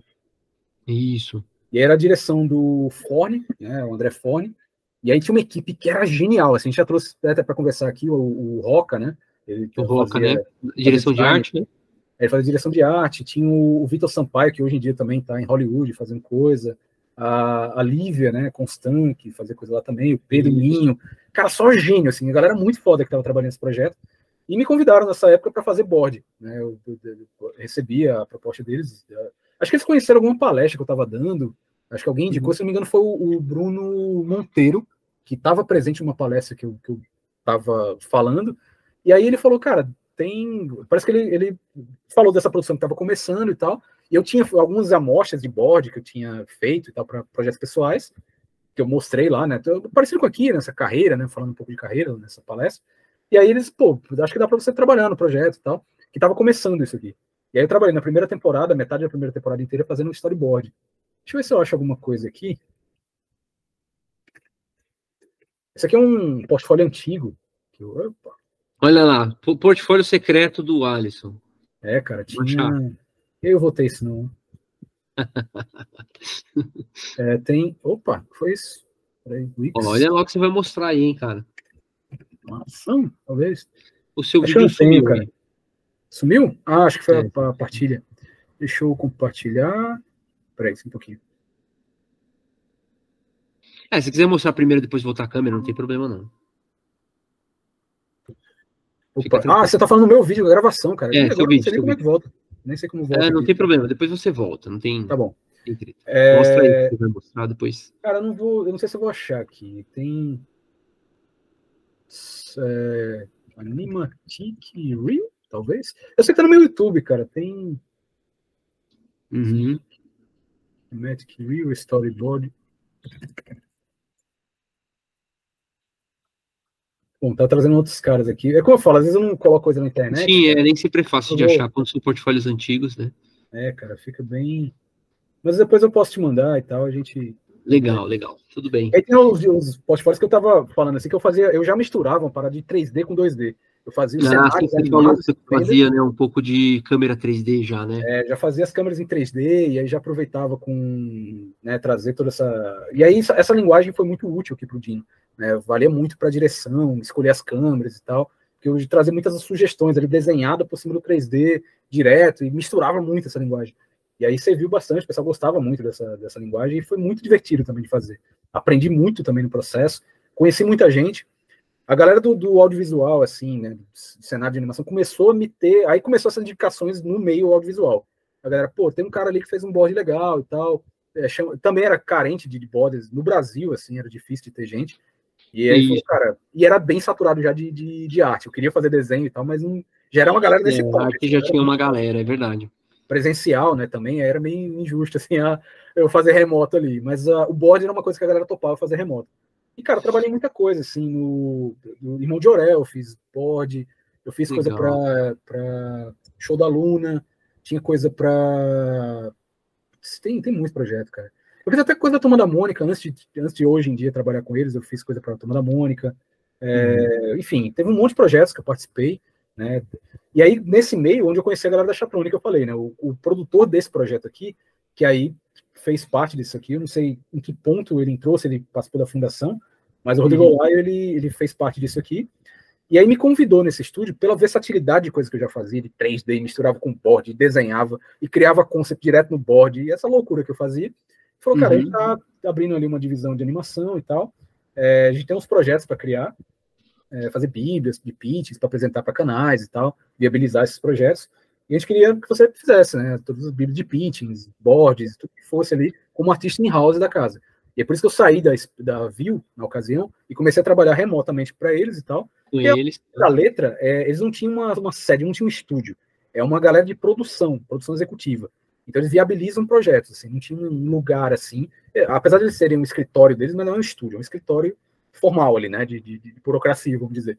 Mas essa uhum. parte de desenhar e tal, e fazer, eles não, não tinham. Até, até hoje, na verdade, eles não têm uma sede para estúdio. Mas aí eu ficava criando todas essas coisas ali remotamente e tal. E aí tem um monte de projeto que aí eu não posso mostrar nenhum, mas tem não, um deles que eu posso falar é do Mini Maluquinho, que é um que saiu e tal. Esse, é, esse já saiu. E você estava é. trabalhando então com eles aí nesse, nesse momento aí. É, deixa eu ver se tem no ArtStation, cara. Eu acabei que eu não coloco ele. Eu tenho ele meio que fechado ali no ArtStation. Isso, já aproveita para mostrar seu Instagram e seu ArtStation.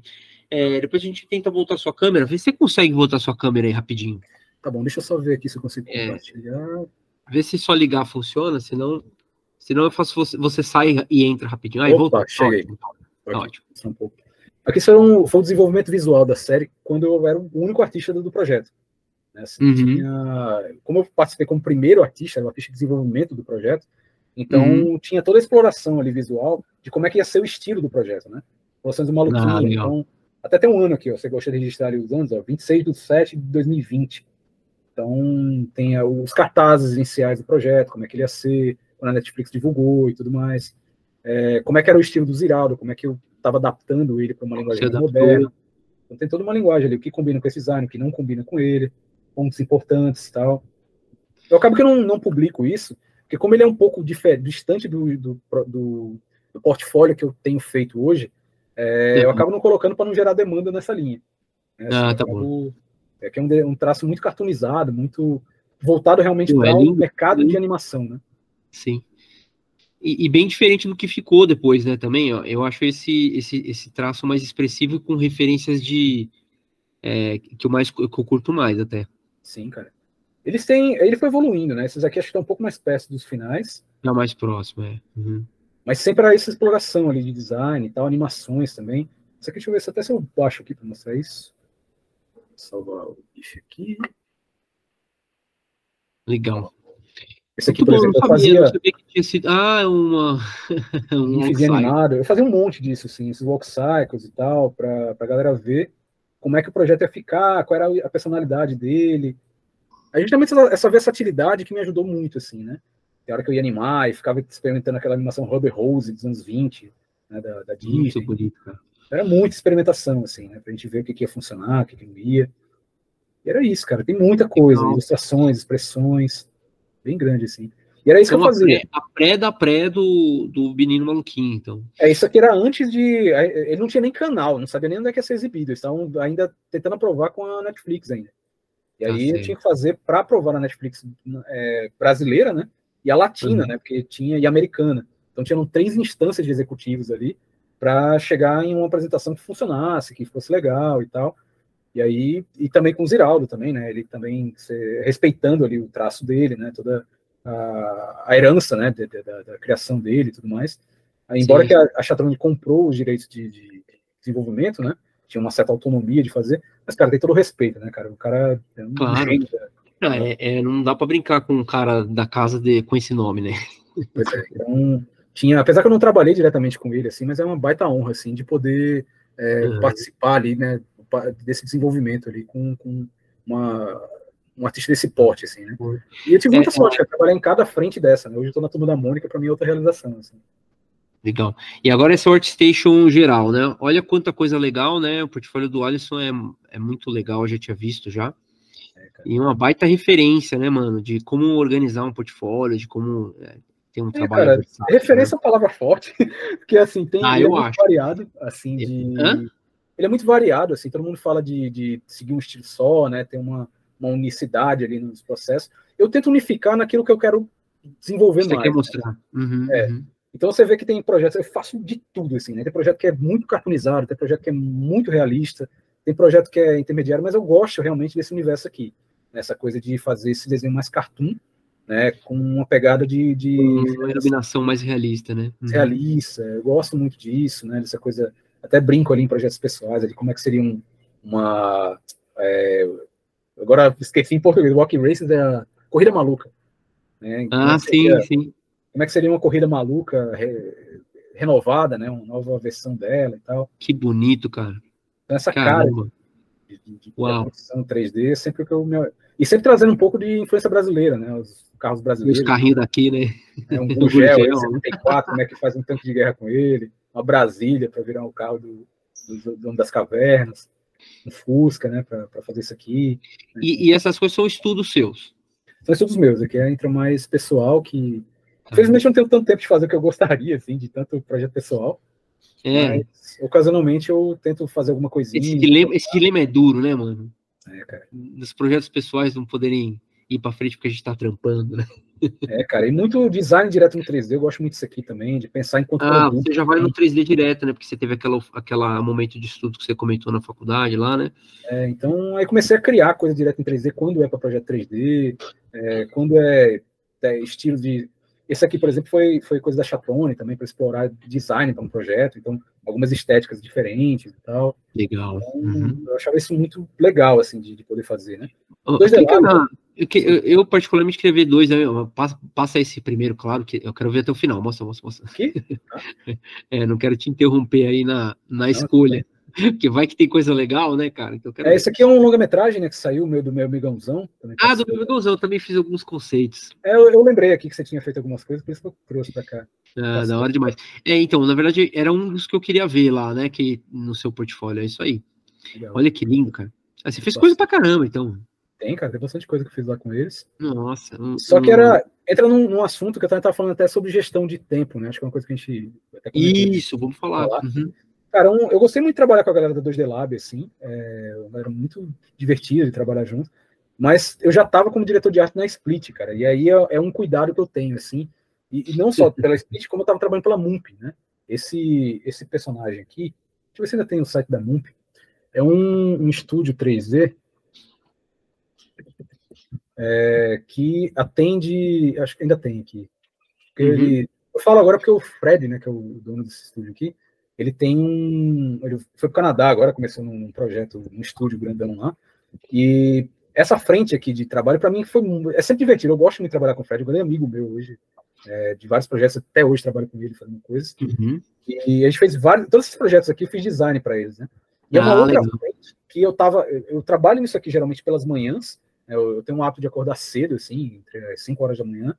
É, esse projeto aqui é um pouco mais nessa frente de desenvolvimento visual.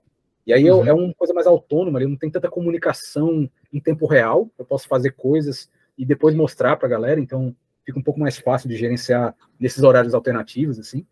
E, e aí dá para conciliar tranquilo, assim, né? De ter um, um, um, projeto ali onde eu consigo, um estúdio que eu atendo desse jeito, e de tarde atendo a split. Então nunca chocou. É sempre tranquilo, assim, a minha gestão de tempo. Entendi, dividir o tempo, né? É, tem, é, dois é muito importante você falar isso, né, cara? Maior, assim. Eu acho que é, que é um bom caminho, assim. Pode falar. Não, é isso mesmo, de dividir o tempo em dois, né? Em três, às vezes, que é para a galera que ainda dá aula à noite, às vezes, né? Então. Sim, cara. Isso é muito comum, né? E, apesar de, de, de, eu achar assim que às vezes, é, às vezes uma coisa vai, pode vazar na outra. Como que você se organiza, cara? Conta um pouco assim. Então, cara, é aí que entra essa coisa do, do... com o tempo, né? Assim, eu tenho uma noção muito clara assim de quanto tempo eu levo para fazer cada coisa. Assim, para mim, com o não só Aí a experiência vai somando, né? O que, claro, eu, claro. o que eu fazendo com o meu jeito leva para fazer, o que outra pessoa, em média, levaria para fazer, como uhum. eu posso facilitar o trabalho de outra pessoa para que ela alcance uma velocidade maior quando eu sou diretor. Então, uhum. assim, começou a ficar, né, por ter participado de muita coisa, já tenho mais noção do tempo que isso como funciona. Claro, claro. E aquela conversa que a gente falou de como o tempo é dinheiro, como o tempo tem remuneração e tal, é, ficou mais claro assim para mim de quanto custa cada coisa que eu faço, né? Assim, quanto eu preciso para fazer minhas coisas, quanto eu tô, se eu tô atolado de trabalho, então posso cobrar mais caro. Então assim, eu tenho noção de quanto como que fica cada coisa ali, né? Quanto difícil é para mim, mais caro ele tem que ser. Então começou a ficar mais óbvio assim para mim. Então o que eu, volto nessa história que eu estava falando da, da, da 2D Lab, né? Era um terceiro estúdio que estava na pauta para atender. Eu falei, caraca, eu não vou conseguir fazer isso na qualidade que precisa. Velho. Já estou fazendo design aqui com 3D, que para mim tem essa coisa também em jogo, assim, para como eu estou aprendendo no processo. Eu estou já no estúdio de 2D, que é a Split. Tem toda a pipeline de 2D que tem bastante inovação, bastante coisa que eu faço. Inclusive, porque no, na Split, na real, eu estava trabalhando em projetos que esse, assim, até o, o você está trabalhando ainda né, nesses projetos, que ele tem uma uhum. pegada mais realista, né? Então, essas frentes aqui, por exemplo, esse, né? O My Life, uhum. juntos, né? O projeto que a gente, você participou aqui fazendo personagens e tal. Sim, sim, sim. Ele é feito com base 3D, né? Então tem 3D com desenho sobre, né? Meio Spider-Verse, né? Tem uma, toda uma pegada assim. Então essas experiências mescladas me fazem aprender, e esse desafio me deixa muito feliz, assim, de poder continuar desenvolvendo coisas, continuando técnicas. São direções de arte é, diferentes que você consegue montar uma pipeline funcional para você é, gerir. É, ali, né? Eu piro nisso, assim, eu gosto muito de fazer é, como você pesquisar maneiras novas de fazer a coisa, e aí de repente vira uma pipeline, e essa pipeline tem que virar funcional para ninguém enlouquecer trabalhando, assim. Quantas horas Sim. demora para fazer cada coisa de uma maneira segura para a gente conseguir seguir uma pipeline inteira, multiplicar isso e dizer ó, que hora vai entregar o projeto finalizado. Assim. Então a gente tem essa segurança sem ninguém vir à noite. Eu também luto muito por causa disso. Pela, porque como a gente tem toda uma estrutura de planejamento antecipada, cara, também não vem com alteração de última hora, não mete o criativo ali com coisa Claro, que... claro. Eu sou bem chato. Programas intrincados aí para poder funcionar legal com, com quem está trabalhando e, e para quem você está atendendo, né? É, cara. E aí fica e... saudável, tá ligado? Fica saudável e produtivo para todo mundo. Aí geralmente fica legal. Isso. Vamos, vamos fazer uma conversa, já, tá, já vou falar aqui já para ficar gravado, né? Vamos fazer uma conversa sobre gestão de tempo aqui, uma live. É, tá. não sei se você vai vir sozinho, se vai vir com, com outra pessoa junto para a gente poder dar duas visões. Nossa. Mas já tá, já tá o convite. Então, galera que está assistindo aí, quiser comentar o que, que acha disso, gestão de tempo para artistas, né? Acho que é um rolê legal, né?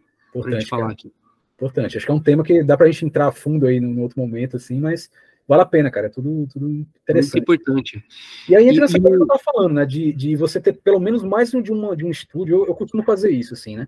Ter pelo menos dois estúdios que eu trabalho de uma maneira mais. um freela fixo, digamos assim, né? de você uhum. poder atender a, a, mais longo prazo, assim, é, para que te dê uma estabilidade. Eu alcancei essa estabilidade por causa disso, porque quando tem um que. Eu estava procurando o site da Mump por isso, né? O, o, estúdio, ele ainda funciona, ele ainda atende clientes e tudo, mas a, a demanda dele maior acabou se reduzindo, acabou que a gente não tem, não tem essa parceria mensal como eu tinha anteriormente com o Fred, com a equipe da, da, da Mump, né? Então, é, não tem essa parceria fixa mais atualmente. Porém, atualmente já comecei uma parceria nova com a Madbug, a Madbug Creations, que é um outro estúdio de que a gente trabalha no sistema de agenciamento. E aí uhum. eles, ela, a gente divide ali processos e tal. E o foco deles é um pouco maior ali na área de games, na área de é, coisa de, de desenvolvimento, ah, board games também, ilustrações e tal. Então é uma outra frente também bem legal. Eu tenho feito muita coisa aqui para alguns clientes que eles atendem, são clientes bem legais ali. E aí uhum. a FanForge, Forge, que eu acho que faz a, a o Keyforge, que é um jogo de cartas, tem feito umas ilustrações para eles as outplay, a gente tinha feito jogos e tal. Um monte de coisa não pode ser divulgada, né, e tal, mas pelo menos que tá aqui eu posso mostrar, né? Não, não, legal. É, e à medida que for saindo, e a gente vai atualizando a conversa, né? Que com certeza você vai voltar aqui pro canal, se seja por, por live, seja por mais uma conversa, a fase 2 aí do conversa, né, mano? Sim, sim. E aí a gente vai atualizando. Porque você é o tipo do cara, mano, que tem que seguir mesmo e, e, e acompanhar, né? Assim como a gente. É, é cara, meu perfil. É... O, eu atualizo pouco, tá? Então, isso, isso. No Instagram, é. eu, eu coloco, quando eu lembro que tem que existir lá. Fala, fala como, é, é, como é legal te seguir, isso é legal você dizer. No Instagram, então, não vai encontrar quase uh, é, tem, uma atualização muito precisa, né? Tem poucas atualizações, ocasionalmente eu coloco alguma coisa lá para o pessoal ver que eu estou vivo. Mas, por exemplo, eu tenho colocado algumas coisas que são estudos bem pessoais, que é de estudando em Unity. Eu, como eu falei, eu, eu fico pesquisando coisa nova o tempo inteiro. Atualmente eu estou pesquisando, eu estou estudando mais o Unity e estou pesquisando um pouquinho até de programação até para processos que a gente faz, para acelerar processos da pipeline de animação, né, fazer crop de cena, essas coisas eu fico tentando acelerar o máximo possível, com programação, ah. tarefas repetitivas. Então lá tem umas coisinhas de Unity que eu tô, tô testando dentro de games. Aí aqui são projetos pessoais que aí eu posso divulgar, eu de vez em nunca eu posso postar alguma coisa que estou fazendo, aí pelo menos os estudos eu coloco lá, como é que dentro da Unity, como é que eu preparo materiais e tal. Aí eu, Total. é o que eu tenho colocado ultimamente. Muito bom. O Instagram do, do Alisson é Alisson underline Rick, é, CK, underline, né? É, Alisson underline Rick. E tem um underline no final também, né? Tem um underline no final também, é, Isso. é, ele fica no final. E aí, às ah. vezes, divulgação de vaga também, quando a Split abriu agora há pouco. Isso, aí você aproveita para fazer também. A Legal. equipe da gente, né, tava diretamente selecionando para a turma da Mônica, eles divulgam aqui também. Então fica de olho lá, vai ter uma atualização de vez em nunca, mas é um bom caminho também para eles conversar. Sim. E, e, uma outra coisa também que é legal, eu sempre pergunto para a galera, Alisson, é, a galera tem, tem livre acesso para te perguntar coisa, você tem esse perfil de educador, né, cara? Eu acho que. Cara, pode, velho. Pode, sim. Né? Não, não, tem. Eu não tenho muita restrição, pode ser que eu demore um pouco para responder e tal, mas eu me sinto até honrado, assim, de poder colaborar na, na carreira das pessoas, como pessoas me ajudaram na vida.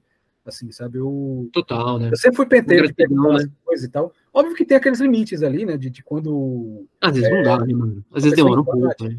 É porque eu, pela experiência que eu tive, assim, é, é, raro ter alguém sem noção a ponto de se atrapalhar na vida, assim, né? Não, não, é todo mundo. E quando tem, a gente entende. Às vezes o cara, né, tem algum problema social, sei lá, alguma coisa que é, não sabe chegar de um jeito suave, né? Mas não tem problema também, cara. Eu entendo isso, eu respeito também. Acontece, acontece também. para passar também, eu, posso, cara, eu tô, não vou poder responder agora e tal. Depois a gente conversa, vai, vai ser algum caminho assim.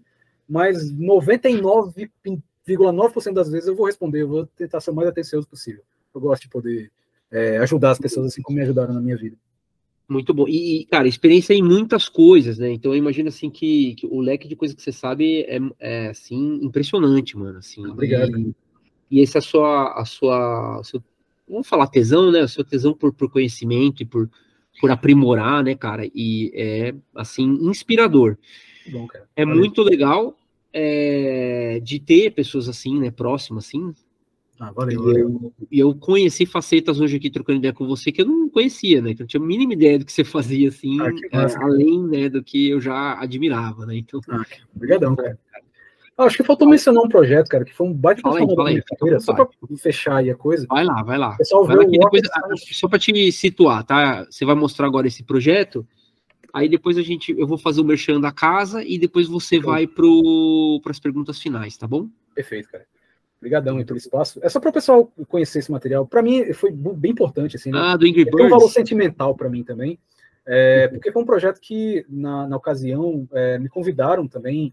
Foi dessas coisas. Uma pessoa, não sei como chegou até mim, veio um e-mail de repente, um amigo que fazia mestrado comigo e aí foi até a, a começou a trabalhar na Róvio e aí foi dessa de uma coisa para outra e me convidaram para fazer uma série, cara, de animação para um departamento específico da Óbvio, que era de educação. Né? E, e aí, cara, para mim foi uma puta realização. Porque junta a coisa da, da, educação, ciência, que eu adoro, gosto muito dessa área, é, para uhum. fazer um projeto de ilustrar é, falas da NASA, cara. Eles são cientistas da NASA que. Ah, são falas da NASA. São cientistas da NASA explicando sobre o sistema solar, né, cara? E aí eu tinha que ilustrar, criar dentro do roteiro aqui. Eu tinha que pensar na, na ideia, é, não do roteiro que ele ia falar, obviamente, né? O roteiro estava lá, mas a, a, gag que eu ia fazer para ilustrar esses negócios era livre. E aí eu tinha que escolher que personagens eu usar, obviamente escolher os porquinhos, porque é o mesmo rig, e é mais simples e tal. E aí uhum. fui fazendo no braço, era sozinho, assim, não tinha equipe de produção, foi numa ocasião. É, foi esse, esse meio tempo ali, quando eu comecei o mestrado e ainda estava dando aula, mas eu não tinha uhum. equipe para trabalhar assim. E aí eu fiz sozinho pra, o 15 episódios disso aqui. No meio do caminho, chamei um, um amigo, né, que infelizmente ele faleceu durante a pandemia, o Eli Marx. Nossa. A parte de After Effects, que eu não dominava After Effects, eu, eu criei a linguagem da animando ele aqui inicialmente, depois passei para ele, para ele conseguir fazer o braçal da coisa, que eu não estava dando conta. Assim. Uhum. Aí eu fui fazer mais as partes de personagens e ele executando a parte de, de motion design. E aí fiz amizade também com um estúdio da Finlândia, que a galera tá fazendo a aplicação do motion design em cima do live action, que eles gravaram lá e tal. Né? E, uhum. cara, foi fantástico, assim, foi um baita transformador na minha carreira, isso aqui também que me deu portfólio para muitas das coisas que aconteceram depois do convite, que veio para o Dino Aventuras e tal, eu esqueci de mencionar, mas veio daqui. Foi por causa dessa animação que eu já tinha feito, que a galera me convidou para várias outras coisas aí. Inclusive, depois eu fiz com uhum. fone, alguma coisa para Shakira, tal, desse universo do Angry Birds. Então, devo muita coisa aqui esse esse projeto, que também vale a pena conferir lá. Demais, cara. Fica, a gente coloca o link. E é, inclusive, até é bacana você te falar, né? Você coloca depois para mim quais links você quer que eu coloque no descritivo, tá? Ah, legal, cara. Tá pra gente deixar tudo disponível pra galera. Show de bola. Volta lá pro teu desenho, então, rapidinho. Eu ah, quero cara, te perguntar um negócio. É. Eu queria te perguntar um negócio. Você. Acho que você consegue chegar muito próximo do fim, se não finalizar. Você vai postar isso no seu Instagram pra galera ver finalizado, se no caso Sim. não terminar? Vai. Legal. É porque daí fica aquele, aquele bate-bola legal, né? O pessoal viu aqui a conversa, corre lá no teu Instagram e vê finalizado, porque é. vai ficar curiosa, né? é, vou dar um tapinha mais ali e tal, mas talvez não vá muito além disso, assim, talvez em design. Eu fico toda hora pensando em design, eu não fico pensando muito em acabamento, sempre não. Legal. Meio relaxado, assim, com acabamento. E por isso que eu tento fazer muito no vetor, assim, no, no laço, né? Com essa cara um pouco vetorial, assim, me ajuda um bocado a acelerar. Não, tá ótimo. Legal, então eu vou te dar mais um tempinho aí, eu vou fazer aqui o merchan da casa, mano. À vontade. E aí a gente já já volta, tá? A primeira coisa que eu vou falar, enquanto o Alisson manda bala aí, é do meu livro Quatro Tons, que é a maneira que a gente tem aqui para vocês colaborarem com o canal. Tá? O Quatro Tons é uma coletânea de pinturas né, que eu realizei e que estão nesse, nesse livro aqui. Aquarela, guache, tá bom?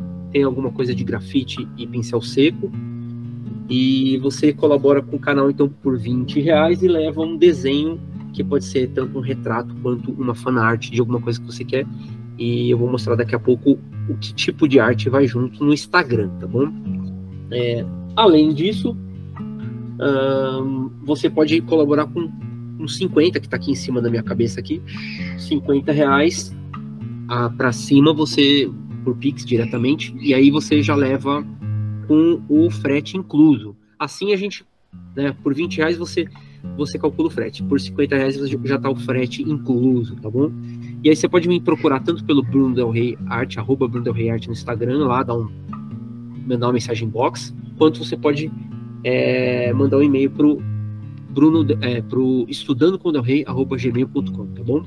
Essas são as duas maneiras que você tem para colaborar com o canal. Você ficou até aqui, gostou da conversa com o Alisson?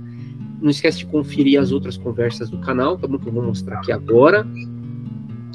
É, vamos lá então para o canal aqui. Não, o desenho do Del Rey tem um monte de conteúdo interessante. É, as conversas ficam aqui nessa playlist. E tem conversa com a galera do, game, da animação, quadrinho, tá?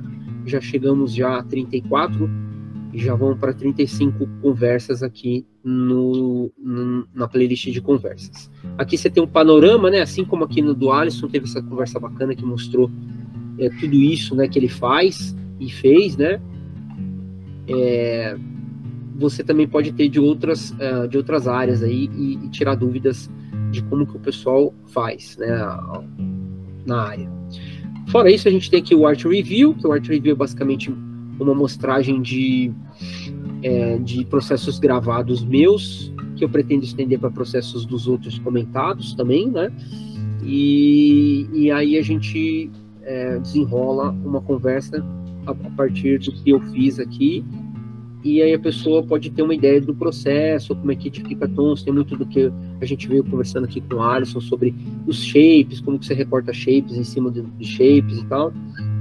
E é bem legal para aprender processos digitais, esferográfica também, que é uma coisa que eu faço bastante.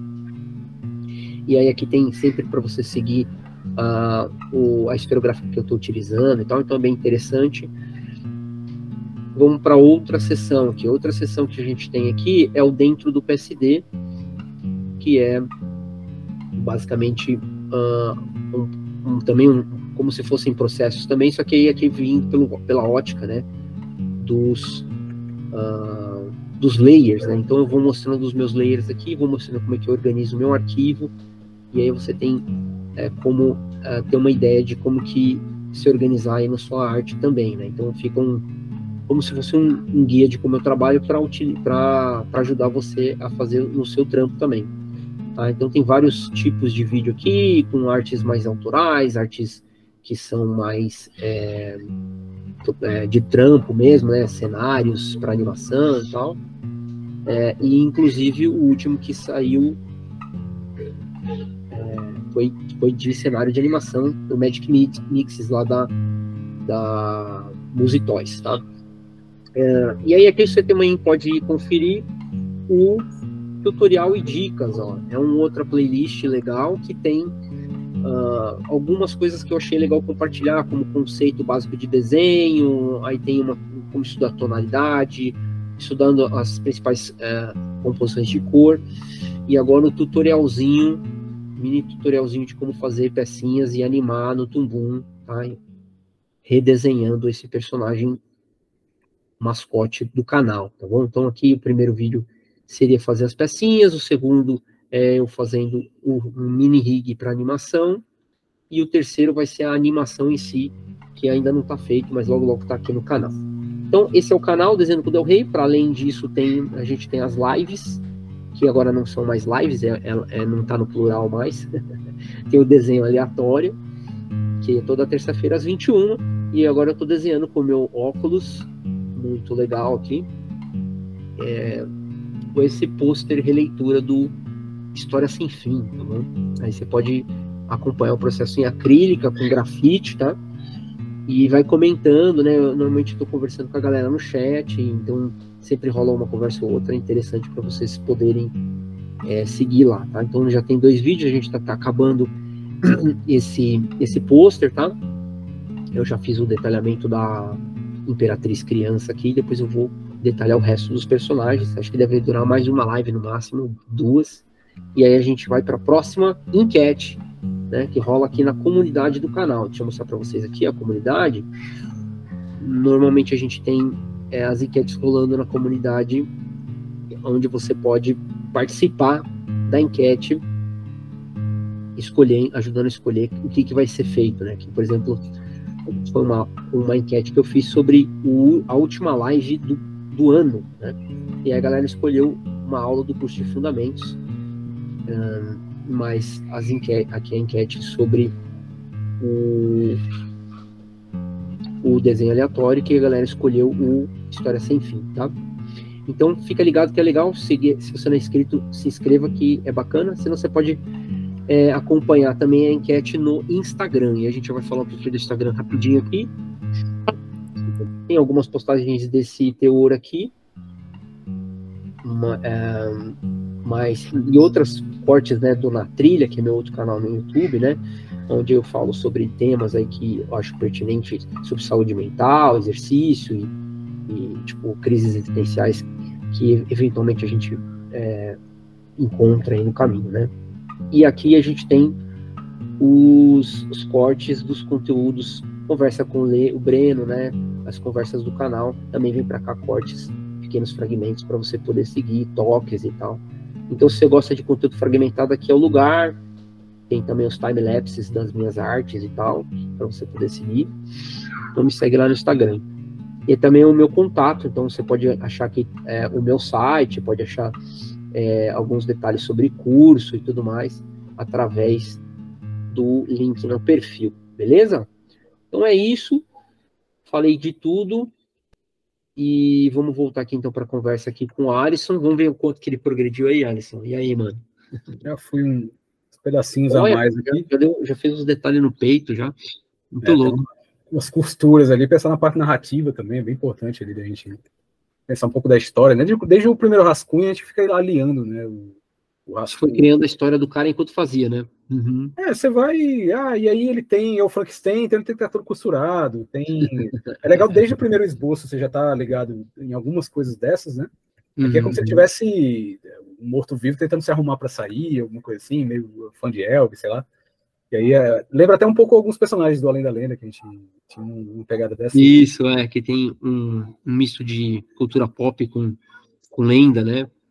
É, e também tem um, um, episódio lá, dando spoiler já um pouquinho, que é do, do Papa Figo, o Papa Figo ele tem uma pegada dessa, assim, de, da, esse personagem, duas ideias que não se combinam, né? O cara tentando se arrumar para tentar ficar mais apresentável ali, mas é um Ah, entendi.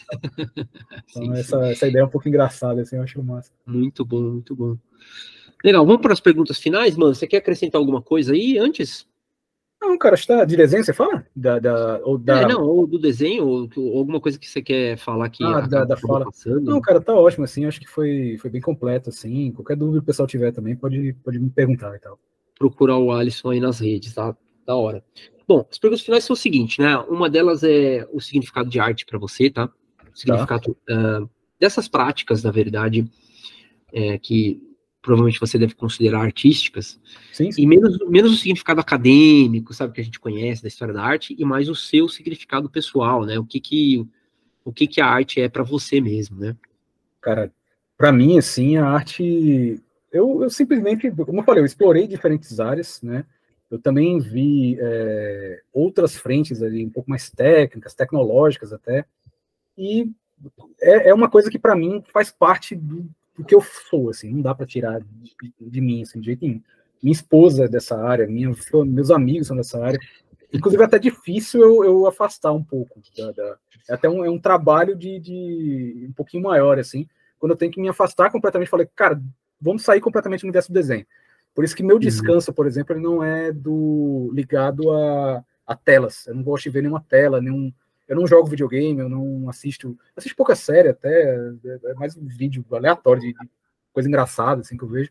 Mas, sei lá, vou andar na praia, vou. Eu moro pertinho da praia, então, cara, eu acho legal, assim, de sair com meu cachorro, correr na praia. Isso pra mim é o descanso. Sai das telas um pouco, né, cara, para poder sair desse universo que você é super focado, né? É, eu, eu amo a arte num nível surreal, assim, mas satura, né? Assim, tem hora que você precisa fazer outras coisas para teu tua saúde, né? Mental e física também. Então, para mim, o descanso é parar um pouquinho. Nossa, perfeito. É interessante que você falou isso justo no significado da arte, né? Então, Cara. tipo, é, como a arte é a vida, é necessário ter um respiro, né? Você tem que cuidar dessa vida, cara. Também não é só se matar, não. Ele é, ele é parte do meu Total. lazer e parte do meu respirar, praticamente, assim. Então, tem hora É, que você tem que saber dosar. Não, é importante demais falar sobre saúde, né, cara? Porque aqui nem lá, lá no Na Trilha eu comento sempre, é, precisa saber medir, né, os limites, saber essa coisa da sua organização. E, e, cara, é, é- e é, inclusive deve ser, ser até estranho falar pra galera que você é, des- é, quando descansa não vê entretenimento, né? Não quer saber dessas coisas. Porque a galera acha que cobra que a gente seja um fanático por consumir e produzir ao mesmo tempo. Assim, né? Então, tem uma galera dá uma frustrada, assim, tipo, uma da, a pesquisa que eu fiz de jogos, por exemplo, ela tá ligada com. é, eu fui estudar o Red Dead Redemption, né? Quem conhece de jogos aí, acho que você conhece, Uhum, uhum. por causa da animação dele, que é muito elaborada. Cara, eu não conhecia nada do jogo, assim, eu vou botar a galera pra jogar como cobaia pra me analisar a galera jogando, assim. Porque eu não tenho conhecimento do jogo, assim. É, chega a ser frustrante pra galera. Como é que você trabalha com isso? Você nunca joga, não sei o quê. Cara, é, eu, eu não tenho tempo de, de, de fazer e tal, acho muito divertido, mas infelizmente não consumo, assim, difícil. Muito bom, muito bom. Que toque da hora. Bom, a outra, outra é, é meio que passando a bola um pouco, né? Que mensagem você pode passar para a geração nova, né? A galera que está aprendendo a, a querendo entrar, né? Os aspirantes, né? O pessoal que circula aqui o canal às vezes é, vem justamente pela, pela experiência dos, dos macacos velhos que eu trago aí. Sim, cara. Então, tanto no que se refere a, a, a inspiração para continuar num momento difícil, né, cara? Uhum. Quanto hum, um toque que você acha profundo e necessário, né? Assim, é, passar, né? Como Sim. professor, como, como ligado ao ensino aí. É, cara, você diz um, um toque, é, é mais direcionado qual é o público da- da- do canal? É mais o pessoal que está começando na carreira? Como eu devo... É, é- é- tem, é misto, mano. É a galera que tá em volta do desenho, né? Mas sempre tem um jovem ou outro que aparece na live também, né? Então, é, que tá, ah, eu, eu tô pensando em entrar para animação, eu quero aprender desenho para quadrinho ou, ou para game, entendeu? Então, é, o que que. E você passou mais ou menos por tudo, né? É, cara. Mais justo ainda você poder fazer algum, alguma, algum conselho aí. Pô, velho, o conselho que eu sempre dou, assim, a- em, em evento, em, em coisas que eu, que eu participo, né, seja em palestra, seja em tudo, é seja curioso, cara. Esse é um negócio que me, me levou para todas as frentes na vida, foi curiosidade.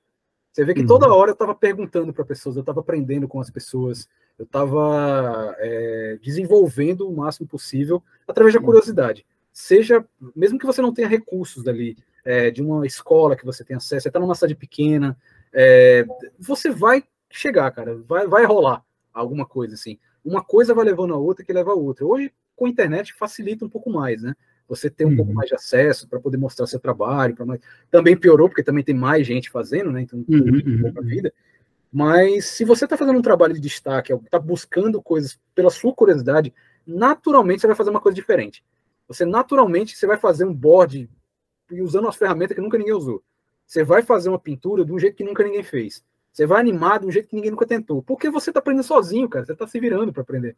Então, naturalmente, Sim. você vai ser notado se for bem feito, se você for curioso o suficiente de, de elevar isso a outro nível, assim, sabe? Muito bom, isso, muito bom. Curiosidade. Siga a sua intuição, sua curiosidade e é, segue cara. que vai dar certo, né? E tenta, na medida do possível, é, hiperfocar numa área por vez, assim, é uma coisa que eu sofro muito, assim, mas eu aprendi a fazer isso, assim, de é, você ter um, um, um cuidado de por mais que você queira aprender tudo, tem muita coisa para aprender, mas termina de aprender uma para fazer a outra, porque elas vão se agregar. O que eu aprendi de 3D, eu uso em design hoje. O que eu aprendi de é, storyboard, ou de animação, por exemplo, Funimation, eu usei em board. O que eu usei em board foi para direção. Mas você tem que ter uma coisa para poder pegar a outra. Se for tudo ao mesmo tempo, você enlouquece. E... É, tudo ao mesmo tempo é impossível, né? E gerir o tempo também, né? Que é o que você falava, fica é. impossível é. se não for conquiste, focado conquiste cada território por vez, assim, sabe? Aquela brincadeira de war, assim. Vá devagarzinho, conquista um por vez e foca em conquistar, domine o máximo que você puder, o máximo de atenção que você puder naquela tarefa. E aí você conseguiu fazer, cara, aí é só sucesso, você vai evoluindo e a diversidade de coisas que você vai somando a isso te torna uma pessoa única. É difícil ter outra pessoa que vai competir com você por esse mercado. Porque naquilo ali só você fez, juntou tanta coisa louca ali para fazer uma criação completamente nova. Então é bem legal. Muito foda. Bom, é tipo um episódio imperdível, assim, com muita mensagem importante. E, cara, eu só tenho a te agradecer pela generosidade de vir aí, de compartilhar sua história, compartilhar seu trampo, que é imenso, mano. Massa, cara, obrigado. E, hum, é, então, galera que, que seguiu até aqui, não esquece de compartilhar, né, para poder chegar o vídeo do Alisson para mais gente aí, né? Não esquece de curtir de comentar também, né? Que a galera às vezes é, vê o lançamento aqui, que eu, eu costumo colocar o vídeo é, com, é, com estreia, né? Sim. E a galera acha que é live e comenta no chat. Não tem problema, ah. acho que é legal, mas não deixa de comentar também depois, né, meu? Traz o traz engajamento para o canal se você comentar, né? E, e deixar seu comentário na caixa, né, do vídeo, beleza? Então, Alisson, obrigado aí. Até o Valeu, próximo Desenho com o Del Rey. Tá bom. Eu já postar o trabalho aqui já tá finalizadinho, então já vou subir desse jeito aqui. Obrigadão, cara, mais uma vez aí. A gente se vê pela vida aí. Tchau, tchau, pessoal. Legal, gente. É, se quiser, até coloco na thumb. Quer que eu ponha na thumb ele? Pode ser. Ah, da hora. Passo depois para você o, arquivo já fica certinho para você. Perfeito. Valeu, mano. Valeu, Aninho. Tchau, tchau. Obrigadão aí. Até a próxima. Tchau, tchau.